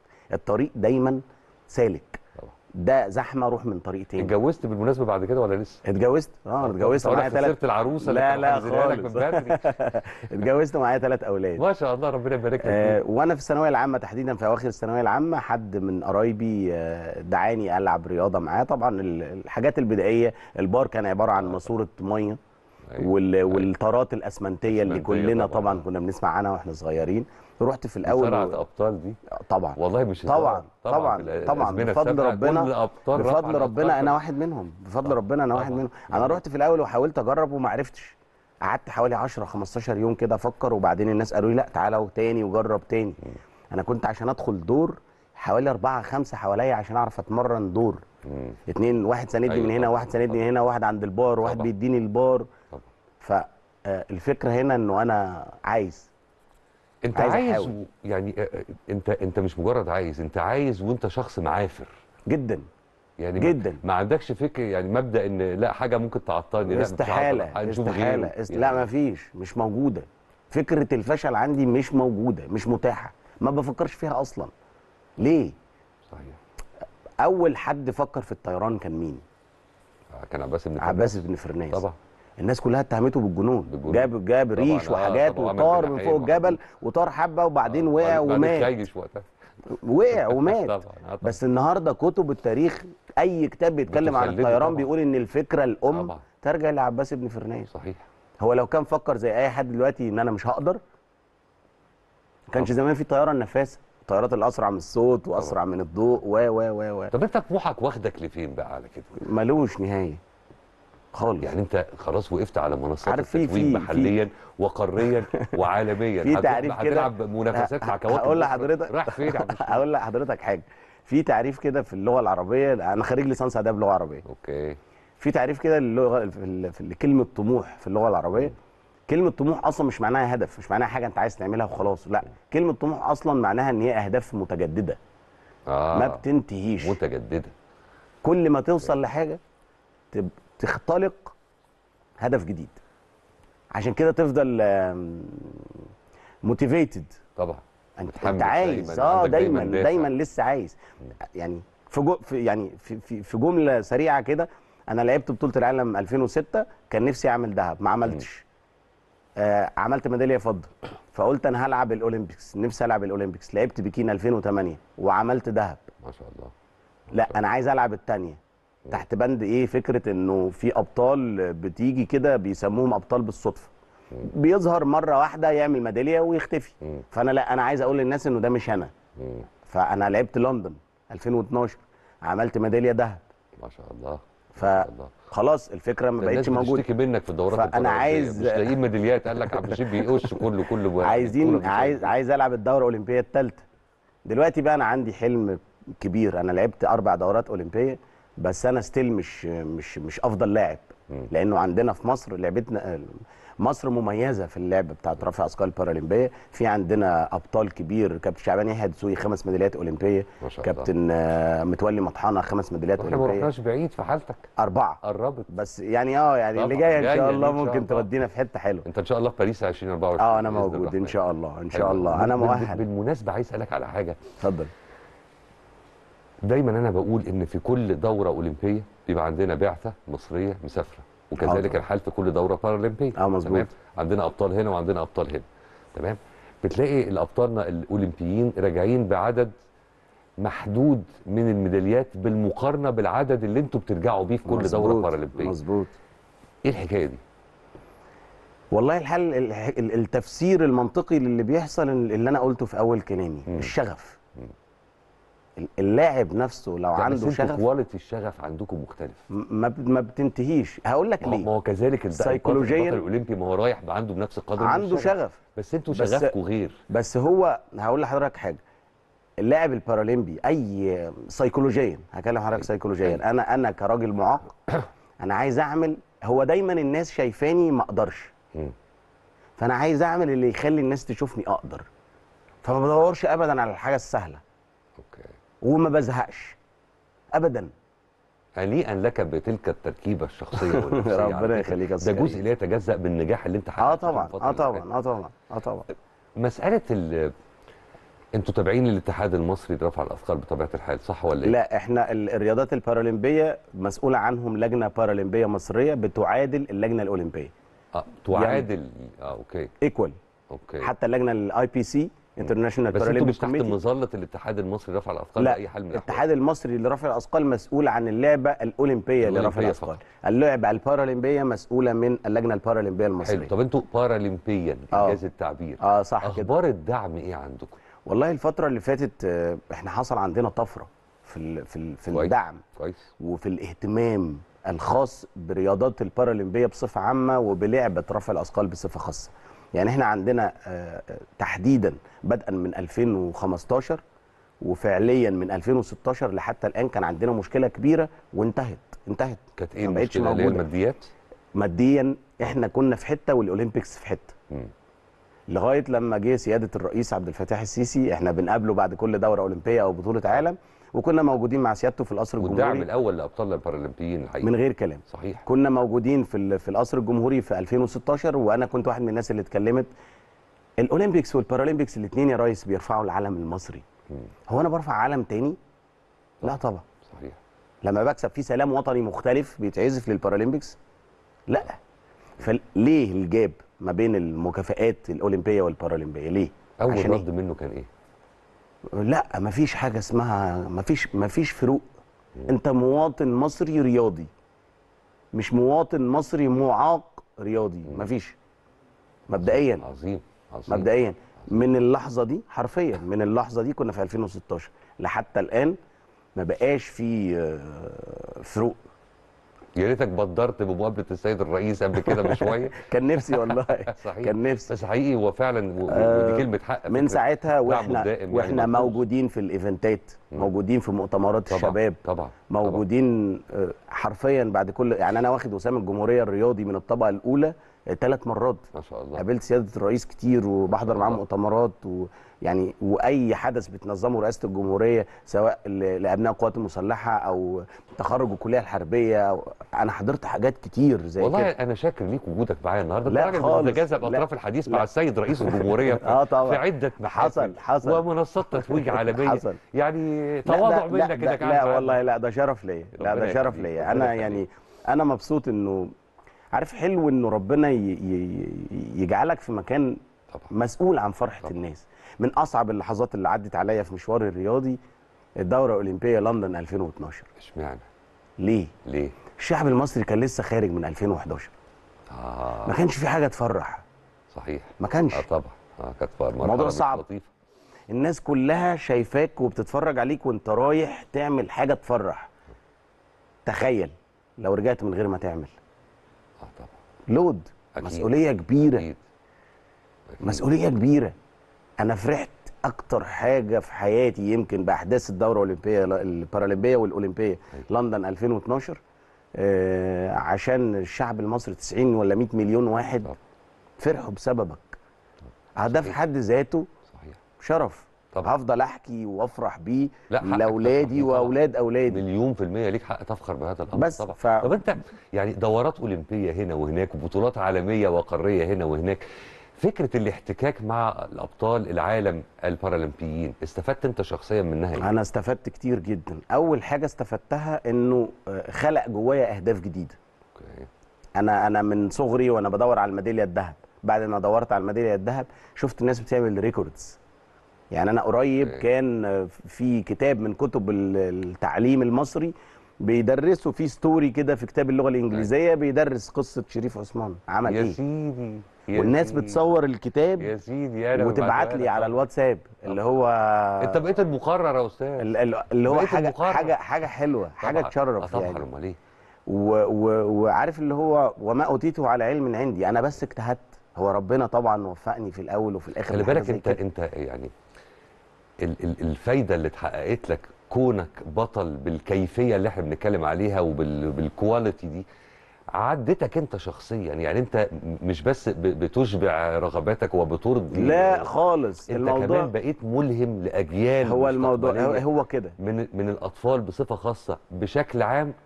وذوي الإعاقة منهم بصفة خاصة. إحنا إحنا حرفيا إمبارح ده موقف حصل إمبارح. إمبارح حرفيا لقيت حد من زمايلي بيتصل بيا بيقول لي آه، في آه، واحدة ست بتمرن ابنها آه، في المركز الأولمبي. المركز الأولمبي ده مكان خاص بتدريب الفرق القومية. أوكي. فهو الولد في سنة ثالثه ابتدائي وشافك في الكتاب فبيسأل حد فقال له آه ده بيتمرن هنا فالولد نفسه يتصور معاك. ممكن تنزل تتصور معايا قلت له آه طبعا. امال امال أنا ه... يعني. لو مش هعمل كده. يبقى إيه لازمة اللي أنا عملته نزلت وتصورت معاه وقلت له بوريها لأصحابك و... ولو عايزني أزور المدرسة بتاعتك يعني أشجعهم. اازرهم أنتوا ش... أنا أنا مستعد والله بص لا عجب ان انت تكون حققت اللي انت حققته ده كله لأن انت بداية انسان جميل ثانيا رياضي. استثنائي. الحقيقة بكل ما. تحمله الكلمة من. معنى أنا بتمنى لك كل النجاح وكل التوفيق إن. شاء الله في باريس يا رب 2024 يخليك. شكراً ويبقى لنا. قعده حلوة معاك شاء الله. وأنت جاي لنا محمل بالمزيد من ان شاء الله بإذن الله أنا بس عايز. أختم كلامي بجملة. آه إنه ما فيش حد بيعرف يعمل حاجة لوحده أكيد ال- ال- اللي حصل ده في وراه ناس مش متشافين في وراه وزارة الشباب والرياضة ممثلة في شخص الدكتور أشرف صبحي في وراه اللجنة البارالمبية المصرية اللي حصل فيها في الفترة الأخيرة طفرة في إدارة ودعم رياضة ال- في البارالمبيكس وراه أهل وحبايب في وراه وأصدقاء. زوجة طبعاً. وأولاد مستحملينك ومستحملين ظروفك وإن أنت دايما مش موجود ربنا يبارك في وراه. شركات راعية و... و... وناس بت... بتقول لك إحنا معاك طبعا ف أنا ما عملتش أنا ما عملتش. حاجة لوحدي. ولادك فرحانين بيك. آه يعني طبعا أكيد طبعا. أكتر مننا كلنا. يخليك. ربنا يخليهم إن شاء الله يكون لينا زي ما حضرتك قلت قعده برزقهم تانية. وتشوفهم أبطال هم كمان في الرياضة. ميرسي. جدا. بشكرك على وجودك معايا النهارده. يا رب يخليك. شكرا جدا. طيب يا حضرات خلونا نطلع فاصل ونرجع نكمل كلام اتفضل. يا أهلا بيكم مرة ثانية طبعا لسه عندنا كلام كتير عايزين نتكلم فيه مع حضراتكم متعلق بماتش الذهاب. وبطبيعة الحال لازم نتكلم وباستفاضة عن توق- توقعاتنا فيما يتعلق بلقاء الإياب إن شاء الله لنهائي دوري أبطال إفريقيا. كلام كتير هنتكلمه مع ضيفي العزيز اللي منورني ومشرفني النهارده في 10 الصبح في الأهلي كابتن صديق جمال نجم النادي الأهلي السابق. يا صباح الفل واهلا بحضرتك معانا. صباح الخير كابتن كريم إزاي حضرتك ربنا يخليك. أخبار حضرتك إيه. كله تمام؟ الحمد لله تمام يا رب الحمد دايما لله في أحسن صحة وأحسن حال حبيبي ربنا يخليك يا رب. قبل ما نروح بقى لماتش سواء الذهاب أو الإياب بس عشان في نقطة معلقة كده بنتكلم فيها من أول الحلقة. وعايز أعرف حضرتك شخصيا شايف الموضوع إزاي؟ موضوع كريم بنزيما. آه. وفكرة انتقال نجوم كرة القدم العالميين للدوري السعودي وانعكاسات هذا الأمر على الدوري السعودي. آه، أول حاجة الدوري السعودي أنا شايف الفترة اللي جاية هيخطف الأضواء من بعض الدول العربية والأفريقية وفي بعض الدول الأوروبية. ان في دوريات إحنا ما نسمعش عنها. يعني نادرا يعني زي مثلا على سبيل المثال مثلا المجر. بلغاريا. ما تعرفش أنت الدوري في دوريات مع زي ما بتقول إيه مجهولة شوية. يعني عايزة متابعة جيدة جدا. فالدوري السعودي استقدام آه، آه، آه، رونالدو وبعد كده كريم بنزيما. وفي الطريق احتمال كبير جدا جدا ميسي. طبعا حاجة كويسة جدا بتعمل إضافة للكرة السعودية. أكيد. ومش من فراغ. يعني في في لعيب ممكن يحسبها ماديا. بس قبل ماديا الدوري آه، آه، آه، شيق جدا وقوي. وبيجذب أي حد إن هو يروح الدوري السعودي. طبعا. مش دوري ضعيف. طبعا. ملاعب إمكانيات تنظيم على أعلى مستوى اتحاد كورة ما شاء الله منظم. فالحاجات دي كلها بتصب في صالح إن أي حد من اللعيبة الكبار يروح. بنزيما زي ما حضرتك عارف هو قضى خمس- 14 14 عام في ريال مدريد. حقق كل 25 بطولة تقريبا آه حقق كل النجاحات من دوري الأبطال طبعا. الدوريات ال- المحلية عندهم طبعا. آه، الاستحقاقات السوبر. فطبعا آه، آه، تشبع بالبطولات يعني عمل رصيد كبير جدا جدا جدا. صحيح. فهو حسبها برضو في الفترة الأخيرة إن ممكن تكون فيها جزء مادي. يعني أنا سمعت حضرتك بتقول 200 مليون أيوة. على مبلغ الموسم الواحد. كويس جدا. لو ثلاث مواسم 600 مليون. وبعدين هيحس بارتياحية هناك وهيبقى في استقرار. هو كمان ما شاء الله حتى اللغة بيتكلم عربي لأن هو أصلا جزائري. آه طبعا. وعنده كل كل. اللغات كل اللغات. فرنساوي آه فحس إن هو برضه قريب لأن الدوري السعودي فيه محترفين مميزين جدا في الهلال في الاتحاد في النصر غير الأسماء اللي إحنا آه قلناها. كريستيانو والجماعه دول فالحاجات دي كلها وعندهم كمان لعيبة وطنيين يعني محليين ولاعيبه مميزة جدا الحقيقة. بال- بالدوري السعودي. عندهم لعيبة المنتخب قوي. وبرضه إيه اللي بيخلي اللعيبة تبقى يعني عندها ممكن القبول إن هي تروح الدوري؟ المنتخب السعودي لعب مع الأرجنتين كسب الأرجنتين. آه برضه دي بتضاف لرصيد الكرة الآسيوية والكرة. السعودية. طبعا مفيش. فلما اللعيبة كلها حتى ميسي والناس اللي هم في أوروبا في المنافسات بتاع كأس العالم كله شاف المنتخب السعودي. فدي مش من فراغ. ما أنت برضو أنت أنا عشان أجي لك لازم أنا أكون عندي قناعة بيك. أكيد. وعند أنت عندك الإمكانيات اللي, تؤهلنا إحنا الاثنين نتعامل مع بعض. فالحاجات دي كلها بتصب طبعا في صالح ال- ال- الكرة السعودية إن هم يجيبوا لعيبة كويسة وأنا شايف بنزيما هيبقى إضافة. الاتحاد السنة دي خد بطولة الدوري أيوة. قبل المسابقه بمورتين كان المنافسة قوية جدا جدا مع النصر. أيوة. الهلال من من من الفرق القوية جدا في السعودية. الموسم اللي فات كان بعيد آه كان بعيد عن الدوري. الهلال فريق قوي جدا جدا وطول عمره كان من أيام عبد الرحمن ب- ابن مساعد اللي هو كان مسؤول عن النشاط الرياضي في الكورة كلها في الهلال. كان يجيب لعيبة أجانب كويسة جدا والهلال متصدر على طول واخد آسيا كذا مرة وبيوصل نهائيات. فطبعا الكره السعودية فعلا تخليك إن أنت تبقى تتشد إن أنت تتفرج عليها. وما فيش شك إنه كمان ال- الشدة دي هتزيد أكتر وأكتر لأن الدنيا هتحلو أكتر وأكتر لما آه. يتواجد بقى هذا الكم من نجوم العالم في الدوري السعودي. طب أكيد. تعالى بقى آه. نروح لينا إحنا بقى خلينا خلينا في فريقنا. أكيد. وقبل ما نروح للقاء الإياب عايز أعرف رؤية حضرتك لماتش الذهاب. تمام. وهل شفت في ماتش الذهاب ما يقلق في ماتش العودة؟ بس حضرتك آه، اتفرجنا على المباراة الأولانية. ذهاب كان فيها كوارث. مش يقلق بس. آه، طالما كوارث. يبقى بتتكلم على التحكيم ودي طبعاً. نقطة لازم نقف عندها. طبعا لا- لازم لا- نقف. تعالى تع- حيدها مؤقتا من الكلام آه. وهنروح لها وباستفاضة أصل طبعا. هي مربط الفرس. هي يعني إيه يعني لب الموضوع من نهرب منها دي الأول. لا لأن أنا أنا أنا يعني يعني بصراحة يعني زعلان جدا جدا إن هو حرمنا من حاجات كتير. الحكم أول حاجة هو ليبي وآخر مباراة ليه مش هيحكم تاني. رجعنا للذاكرة العرجون لما كان بيحاكم لينا عندنا في النادي الأهلي وخسرنا في مباراة في مصر 3-1 وطرد عماد النحاس وبعد كده بطل تحكيم. فاحنا موعودين بالكوارث اللي هي بتبقى صعبة جدا في مسيرة النادي الأهلي. ليه بقول كوارث يا كابتن كريم؟ دلوقتي انت في ضربة جزاء مليون في المية لحسين الشحات. طبعا. ليه ما رحتش على الفار؟ ليه ما بصيتش عليها؟ ده دي لازم تروح لا تبص. هو راح للفار ولا مسؤول الفار ندهوله أو استدعوه. أبص ما دي اللي اسمه غربال اللي هو كان قاعد جوه على على الفار كان لازم ينبهه. اللي أصعب من دي بقى وتخليك تزعل جدا جدا ما أعرفش يحيى جبران؟ لمسه اليد آه اللي هي اللي خدها بإيده. كان آخر اتنين في الملعب آه بيرسي تاو وهو. وقبل ال center بحوالي 10 يارد 15 يارد اتعدت منه خلاص هجمة بيرسي تاو راح انفراد. صريح.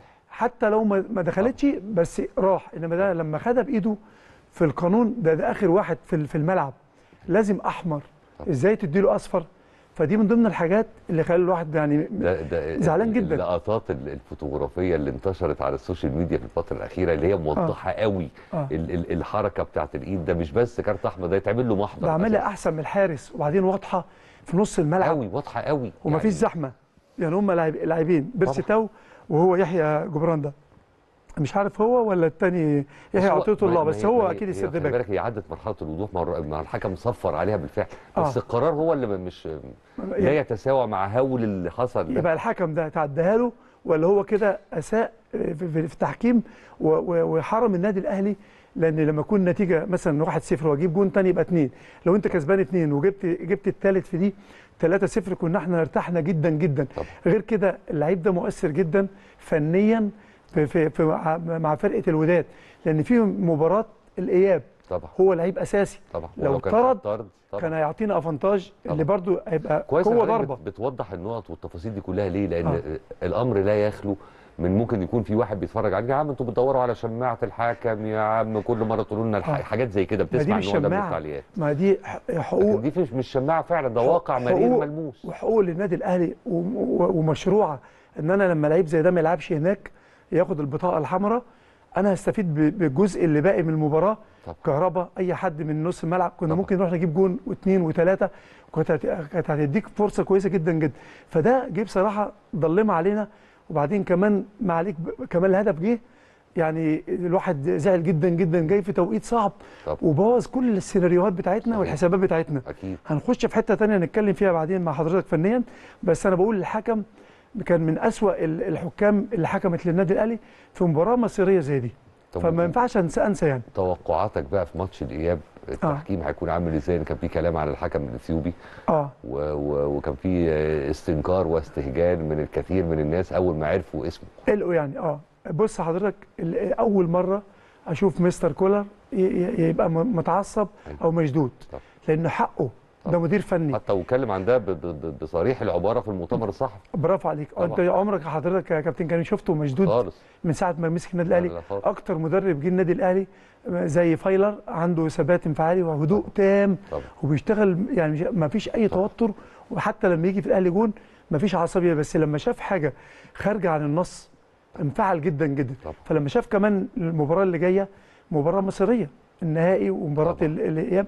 خلاص ما فيش بعديها مباريات وخصوصا إن حسبتها اتعقدت كمان.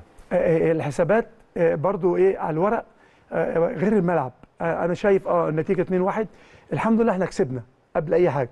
والأهلي قادر يتعامل. بس حتة إن مستر كولر ينتبه برضو على حتة التحكيم لازم يلفت نظر الناس وال- والاتحاد الأفريقي والناس اللي هتعين حكم للمباراة الثانية يكون عندهم دقة في الاختيار. لأن أنت لسه طالع من من علقه واحد ظلمك. ما تجيبليش واحد تاني بره ملعبنا. عشان يأكد الظلم ده. هو هو مش المفروض في الظروف المشابهة. آه. بيتم جلب حكم من خارج القاره باللي فيها المفروض. أصلا المفروض. يلي ضمان الحيادية التامة. المفروض ال fair play يكون هو بعيد عن الساحة. يعني مثلا إيه حتى لو جابوا حكم من آسيا بحيث إن هو ما يبقاش يعني ما يبقاش إيه مع ده ولا مع ده. طبعا. عشان ما يقولكش طبعا. معلول. هقول لك على حاجة يا كابتن كريم. حصل حاجة في الماتش وممكن مش كتير قوي من الإخوة المشاهدين خد باله. أنا كنت مركز جدا أنا اتفرجت على المباراة في البيت. أيوة. كنت رايح الاستاد ولغايه الساعة 5 وما حصلش نصيب رجعت يعني. okay. كنت في النادي الأهلي يوميها اللهم صل على سيدنا محمد. حاجة بتقول لاحظتها وأنت بتتفرج. لاحظتها آه مهمة جدا. الحق المذيع. المعلق. كل الت... كل التقدير والاحترام ليه. بحبه جدا. اللي هو التونسي. طبعا. قال لك بعد ما الجون جه انفعل قوي. أنا أول مرة أشوفه مشدود كده لما الجون جه في النادي الأهلي. مش عايز أقول فرحان عشان ما بس الانفعال بتاعه لك إيه ياه ده لسه بقى في كازابلانكا ده في 60 مليون 60 ألف مجنون هيبقوا في الملعب. يعني أنت بتنبه الناس. يعني إحنا إحنا كان عندنا 50 ألف هناك ليهم 60 ألف مم. جمهور النادي الأهلي جمهور كويس جدا جدا وجمهور محترم ما بينفعلش وبيحافظ برضو على المنافس بيحافظ على اسم النادي الأهلي بره الناس دي بت- بتشتغل ب- ب- ب- بعصبية زي مباراة بتوع الترجي. شفت لما وقفوا لهم مباراه فييجوا مشدودين علينا. طب انت بتلفت نظر يعني إيه 60 مجنون في الملعب في كازابلانكا والله العظيم سامعها على التلفزيون. هو بيذيع. فكل الحاجات دي إن شاء الله مش هتبقى مؤثرة على النادي طالما حضرتك يعني فتحت باب الكلام في النقطة طبعاً. دي هو الحقيقة مش لوحدك اللي زعلت، أنا زعلت. دي ومش بس على الجملة دي هو آه. عام يعني ناس كتير حتى زعلت ليه؟ ان في كتير من الناس شايفين إن طبعا هو رجل له كل التقدير والاحترام ده حاجة بره الحسابات. وليه محبه ومعزة كبيرة في قلوب المصريين بصفة خاصة بس في ناس كتير قال لك ما معناه أنت جزء كبير من نجوميتك اتحقق بمعرفة جماهير النادي الأهلي. صح. لما بيزعل الأهلي فاهم إزاي يعني؟ بي- بي- بي- بي- بي- بيبقى بيبرق كده وبيتلمع لما بيزعل النادي الأهلي. وبعدين إحنا مش طالبين إن يبقى يعني المحاباة لصالحنا ده إحنا عايزين حيادية مش أكتر من كده. ولا للاسف كل المصريين بيحبوه. مذيع كويس جدا آه، معلق آه كويس طبعاً، جدا طبعاً. وعنده ثقافة عالية جدا في الكورة وبصراحة بي- بيمتع. بس أنا كان يعني زعلت من الحتة دي. بس أنا شايف بإذن الله ما فيش حاجة تأثر على النادي الأهلي. النادي الأهلي اتحط في مواقف أصعب من دي بكتير. مع الترجي برضه في تونس مع الصفاقس وكان النتيجة كانت برضه عندنا هنا في مصر كانت مولية جدا ومع جدا. الهلال نفسه آه بس الحتة دي دي- في جهاز فني على مستوى عالي. آه، في جهاز فني على مستوى عالي في لعيبة خبرات كبيرة آه، في منظومة كبيرة أنا سامع كابتن الخطيب إن شاء الله يكون موجود مع البعثة إن شاء الله. وكابتن حسام غالي بيبقى لها. انعكاسات دايما حلوة وجود كابتن محمود الخطيب. طبعا بتدي حافز ودافع إضافي عند اللعيبة. حضرتك بتدي باور بتدي برضو آه، روح عالية جدا جدا لما بيشوف الكابتن قدامه. ولما بيقعد ب- هي هي بتدي power بس هي بتدي باور وبتحملك م- المزيد من المسؤولية. ما المسؤولية. عبء برضه يعني هي- مش عبء برضو إيه بتبقى إيجابية أكتر منها سلبية. العبء ده إن بيديك آه، روح عالية جدا. الناس كلها ملفوفة حوالين الفرقة وبالذات رئيس النادي اعضاء مجلس الإدارة. فلما بيشوف الكابتن أو بيقعد حتى آه، حاجات انفرادية مع اللعيبة أو بيبقى موجود في اي جلسة بينقل خبراته الكبيرة وبينقل المعنويات بتاعته بتاعت جماهير النادي الاهلي الطموحات الناس مستنية منكم فكل الحاجات دي كلها بيخلي اللعيبة تنزل بتنزل إن شاء الله بإذن الله بيقاتلوا في الملعب. ومش جديدة على النادي الاهلي يعني شوف حضرتك بقول لك مرينا بمواقف صعبة جدا جدا. بص الكابتن وتواجده أصلا سواء في في التتش أو في في البعثات اللي هي خارجية في المباريات الصعبة بيبقى فيها بتدي آه، حاجة كويسة جدا جدا للف- للفرقة وللجهاز الفني على ذكر. المباريات الصعبة وإحنا مش هنختلف أكيد إن إن اللقاء القادم هو لقاء صعب. آه، أبرز نقاط صعوبة الماتش ده في رأيك إيه هي؟ أصعب ما في الماتش اللي جاي آه، ده الم- الماتش اللي جاي إحنا طبعا اتقدمنا بهدفين ودخل فينا هدف. فهناك المباراة أنت دلوقتي أي فوز أو أي تعادل؟ آه لا أي تعادل لص- لصالحنا. آه. آه، آه، آه، أي فوز ان شاء الله إحنا إيه ممكن بإذن الله بإذن الله إحنا لو جبنا جون هنربك كل حساباتهم. أكيد. هتلخبط الدنيا. بس إن شاء الله ما يجيش فينا جوان. أصعب حاجة إن أنت يجي فيك آه جون. طبعا وبالذات في أول ربع ساعة أو أول ثلث ساعة. طبعا. طول ما إحنا متماسكين وواقفين على رجلينا وفي تنظيم دفاعي كويس جدا جدا نيجي بقى يعني إيه هنتطرق للحتة الفنية. عشان النادي الأهلي بإذن الله زي ما حضرتك تفضلت بتقول أصعب حاجة. ما أصعب حاجة دي هنتكلم على الفنيات. اتفضل. النادي الأهلي التشكيل اللي لعب بيه إن شاء الله ممكن يلعب بيه المباراة اللي جاية. وممكن يبتدي بيه. ممكن بنسبة كبيرة جدا هنا كان في تخوف والناس كلها كانت قلقانة وتوتر من حمدي فتحي ومروان عطية. إن كان في بطاقات. ده كان عنده بطاقتين ده بطاقتين. كل الخوف والحذر إن إحنا المباراة اللي جاية ما, آه، ما ياخدش بطاقة في مصر ما يلعبش الماتش النهائي. دلوقتي خلاص ما عندكش حاجة تمام. تبكي عليها. فالتشكيل هو ده المناسب. لو حصل مثلا السورية دخل بخبرته حمدي قعد حد قعد برضه إيه كلها إضافات للنادي الأهلي. أهم حاجة عندنا دكة كويسة واللي ينزل إن شاء الله بيبقى بي زي ما بيقولوا بيصنع الفارق.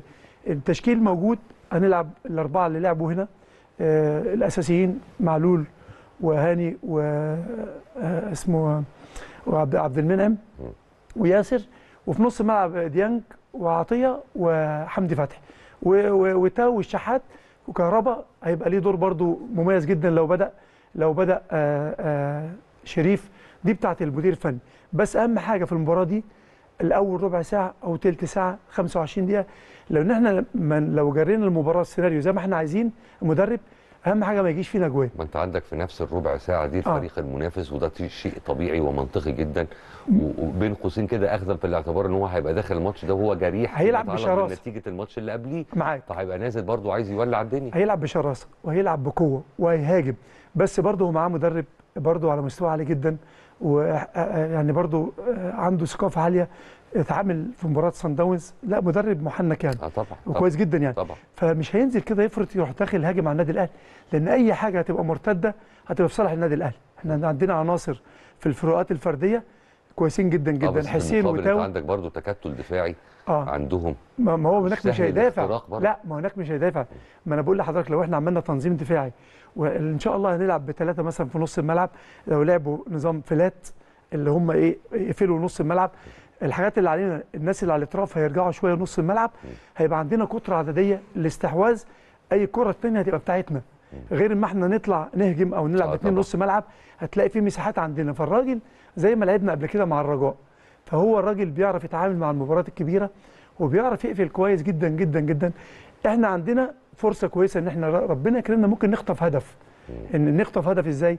إن هم لو بيضغطوا عندنا الحاجات اللي هي يبقى في مساحات في, خط ظهر عندهم. استغلها في هجمة مرتدة. لأن بيضغط. لأن أنت لما كل ما هتقفل كويس أنا بقول لك نص ملعب بيقفل والاثنين الأطراف هينزلوا لما كل هجمة علينا. أنا برضو إن شاء الله تتقفل الحتة آه، آه، ناحيه اليمين. الناحية معلول. واخد بال حضرتك؟ عشان برضو دي بقى فيها خطورة. اللي جه الجون منها. أيوه. آه،. ونجم. كورته كويسة جدا. بيعمل كروس من أي حتة. وعنده سرعات. برضو لما اتحطت الكورة اتلعبت بسرعة لا إن شاء الله نقفل بقى الحاجات دي.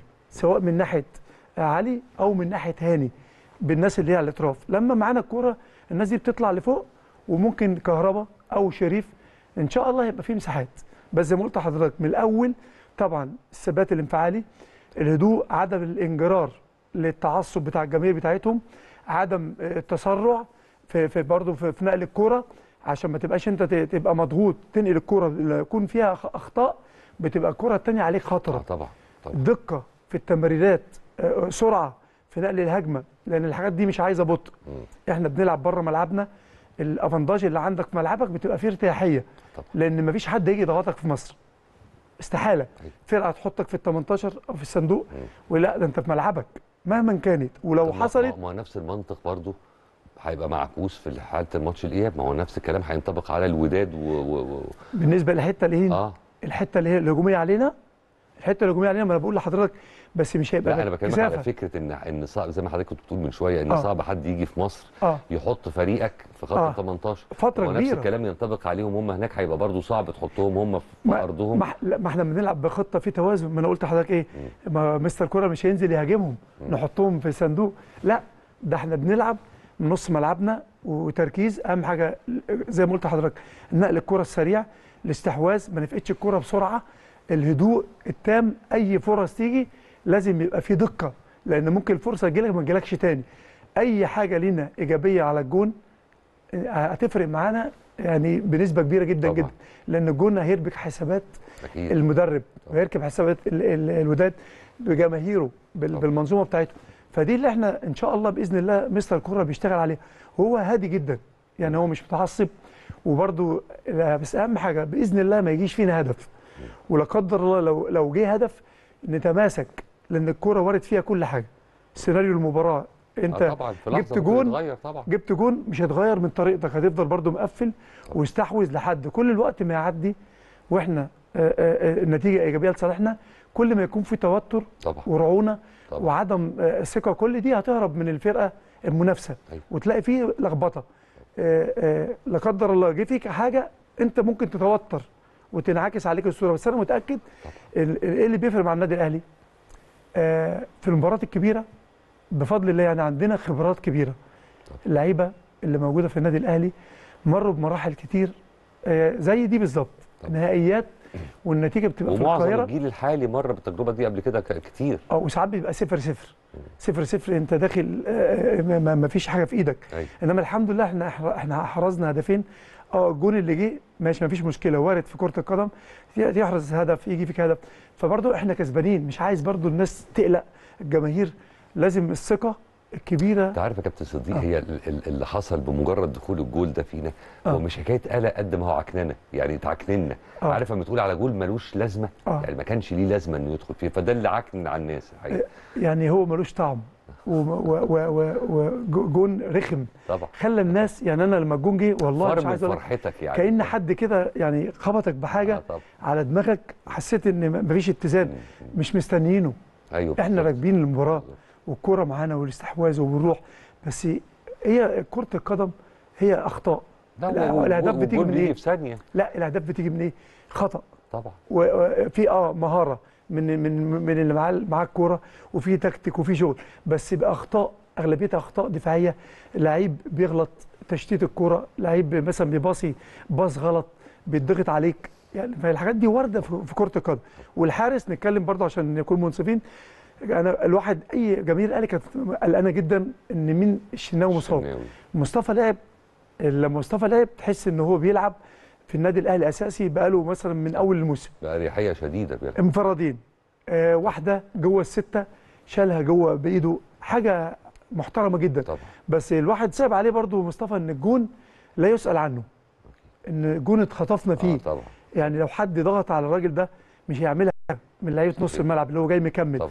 لو حد مد رجله من المدافعين في اللي هو اللي سامبو اللي هو المهاجم لمسها برجليه.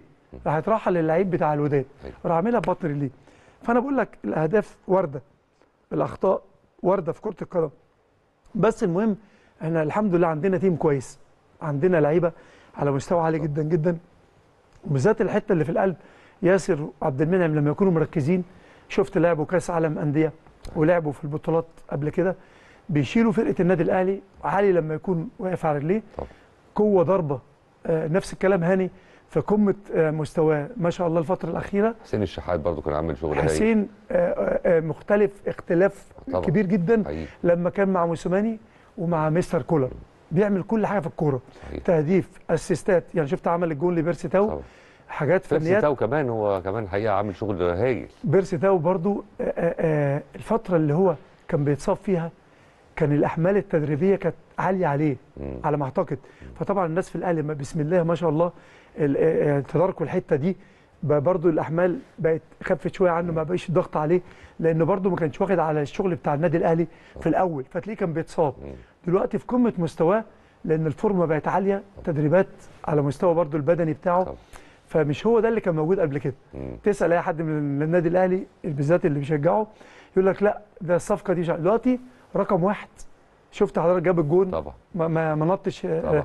عمل جامب لا ده واقف مكانه عاملها بدماغه بعدين آه. الحاجات اللي على الأرض واحد لواحد كهربا آه الحمد لله التلت الأخراني بتاعنا مميز جدا جدا كان ممسوك جامد كهربا في الماتش ده بص يا كابتن كريم أنت ما يكون عندك حد مميز وطبعا على الساحة بيسجل ومهارات وكل المشاركات وبعدين جايب أجوان ما شاء الله جايب ست سبعة أجوان فمميز طبعا. فطبعا لما أنت بتيجي تلعب أي فرقة زي المدير الفني قال لك إيه؟ قال لك مروان عطية لفت نظري جدا وخايف منه في نص الملعب المدير الفني بتاع الوداد. أيوه. نفس الكلام كهربا. فبيعمل إيه؟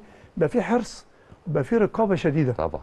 يعين له اثنين لعيبة مسكين آه هو هو already اتنين اللي بيلعبوا اللي في القلب واحد مثلا بيلعب عليه والتاني برضه يبقى قريب منه. آه طبعا. حتى الطرف لما الكوره بيتطرف فوق بتلاقي لعيب الطرف بتاعهم ال back left أو ال back right بيروح مايل عليه بيجي عليه سد back فتلاقيه مخنوق. بس هو عنده إمكانيات وقدرات عالية جدا جدا مهرية بيشتغل كويس والكوره معاه بيشتغل كويس من غير الكوره بيعمل محطة كويسة الحاجات اللي هي اللي فيها ال1 2 أيوه. الدبل باص الحاجات دي هو عالي جدا.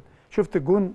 يعني بصراحة مهارة عالية جدا. لما. حسين عملها راح هو بسميها إيه باللغة الايه يعني إيه الفلاحي كده ضربها قلم الكورة راحت واقفة قدامه. أيوة. يعني إيه عمل كده؟ أيوه. بقت قدامه. يعني سيطر عليها. طبعا. وراح عاملها بوش الجول. ممكن واحد تاني يجي يتسرع يروح يعني من حمدي فتحي جات. له واحدة هو المفروض كان دخل خدها بصدره ودخل بيها جوه. لا حمدي اتسرع وعايز يشوطها. خبط في لا- لاعب الوداد. فتعطل. فتعطل كهربا. آه. ما شاء الله ربنا بس يحفظه. يبعد عنهم الإصابات. لعيب لعيب وجوده في النادي الأهلي الفترة الأخيرة. آه إضافة كبيرة جدا جدا. وأنا شايف إن شاء الله بإذن الله آه يعني بتمنى من الله إن اليوم المباراة نبقى موفقين كتيم. النادي الأهلي. يا رب إن شاء الله. لأن دي بتفرق معاك طبعا. لما يكون اللعيب متوفق و آه طبعا مركز في المباراة. في جزء مهم جدا من النجاح في الآخر. آه ومباراة كبيرة. مباراة كبيرة جدا. فنحسبها إن شاء الله لصالحنا. لأن كاس غالي جدا. طبعا. وإن شاء الله تبقى رقم ال 11 يا رب. فدي حاجة تبقى مميزة يعني. هل هل بتحس بأي فروقات في كيفية إدارة مستر كولر الفنية مم. للفريق محليا بالمقارنة بافريقيا؟ آه مستر كولر آه أنا يعني اتفضلت قبل كده كذا مرة مع حضرتك أو في أي مكان بطلع فيه. أيوة. كل ما بيقعد فترة كبيرة في النادي الأهلي كل ما بيزداد نضج بالنسبة للرؤية الفنية للعيبة النادي الأهلي. بقى عنده رؤية كويسة جدا صحيح. حفظ اللعيبة كلها مشاركات كتير مع النادي فبيبقى ما شاء الله في التعامل سواء في الدوري المحلي الدوري المحلي آه، بمز- هو إحنا الحمد لله متصدرين وعندنا مؤجلات ففي ارتياحية أيوة. مفيش ضغوطات عليه لما. بيجي يلعب مع الفرق هو أهم حاجة عنده برضو الثلاث نقاط أيوه عشان يعمل فرق آه، نقاط يبقى حسم الدوري بقوة ما يستناش لأي حاجة تانية أيوة. فبيجي بيلعب برضه بيركز على الفوز وفي في كل المباريات سواء مع فرقة صغيرة أو مع فرقة كبيرة صحيح. عنده توازن في حتة اللعب في فرقة النادي الأهلي بيحترم الفرق الكبيرة وبيحترم الفرقة الصغيرة. تلاقيه ما بينزلش برضه على طول يهاجم آه لا طبعا. بيعمل آه، استحواذ في نص الملعب. آه، ال- ال- ال- الهجمات. وفتره جس النبض اللي آه. منظمة. وعنده طبعا. حتة هدوء. مش عايز أقول سوري كلمة تانية لا لا عنده ثبات انفعالي. ليه هادي جدا جدا عشان برضو بيعرف إيه اللي عايزه من المباراة وبيعرف مستوى الخصم اللي بيلعبه. آه بيحسم كل اللقاءات اللي هي المحلية. الماتشات الأفريقية نضج فيها وبالذات بعد دوري المجموعات. آه. دوري آه،. المجموعات كل الناس كانت مشككة في النادي الأهلي. بالذات لما حصل ال drop بتاع كان في downs تخبط برضه يعني. لا ما أنا بقول لحضرتك آه، فنيا آه. واردة. طبعا آه طبعا. في ناس بيجي لها ال drop ده ما بتطلعش منه. صحيح. أكنها مريضة ممكن تقعد فيه سنتين ثلاثة صحيح. فرق كتير مش عايزين نقول اساميها إنما بفضل الله الأهلي زي إيه؟ بيمرض لا يموت. صحيح. الحمد لله. صحيح. فلما طلع من المجموعات لا دخل بقى على الماتشات الثانية المرحلة النهائية زي ما أنت شايف قوة آه سرعات فنيات آه تكتيك. فهو بيركز مع الفرق الكبيرة وبيتعامل كويس جدا جدا. الماتش اللي جاي من ضمن المباريات زي مباراة القاهرة هيتعامل معاها باحترافية وإن شاء الله بإذن الله يكون ال- اللقاء اللي جاي ده هو مركز فيه جامد عشان نحسم المباراة وناخد البطولة باذن إن شاء الله. الله. نسعد كلنا مع صفارة النهاية في اللقاء اللي جاي بإذن الرحمن ويرجعوا أبطالنا محملين بالنجمة ال11 وبشكرك على وجودك معايا النهارده في حلقتنا. شكر جزيل وإن شاء الله نلتقي على خير قريب حبيبي. يا كابتن كريم أنا كنت سعيد جدا موجود مع حضرتك. ربنا يخليك. بتشرف. ومتشكر جدا يعني. ده أنا بشكرك. شكرا. جزيلا. وأكيد الشكر موصول لحضراتكم مشاهدي قناة الأهلي في كل مكان في العالم على حسن المتابعة. إن شاء الله إن عشنا وكلنا عمر نلتقي على خير بإذن الله يوم الأحد الجاي ويوم جديد وحلقة جديدة و10 الصبح في الأهلي. السلام عليكم.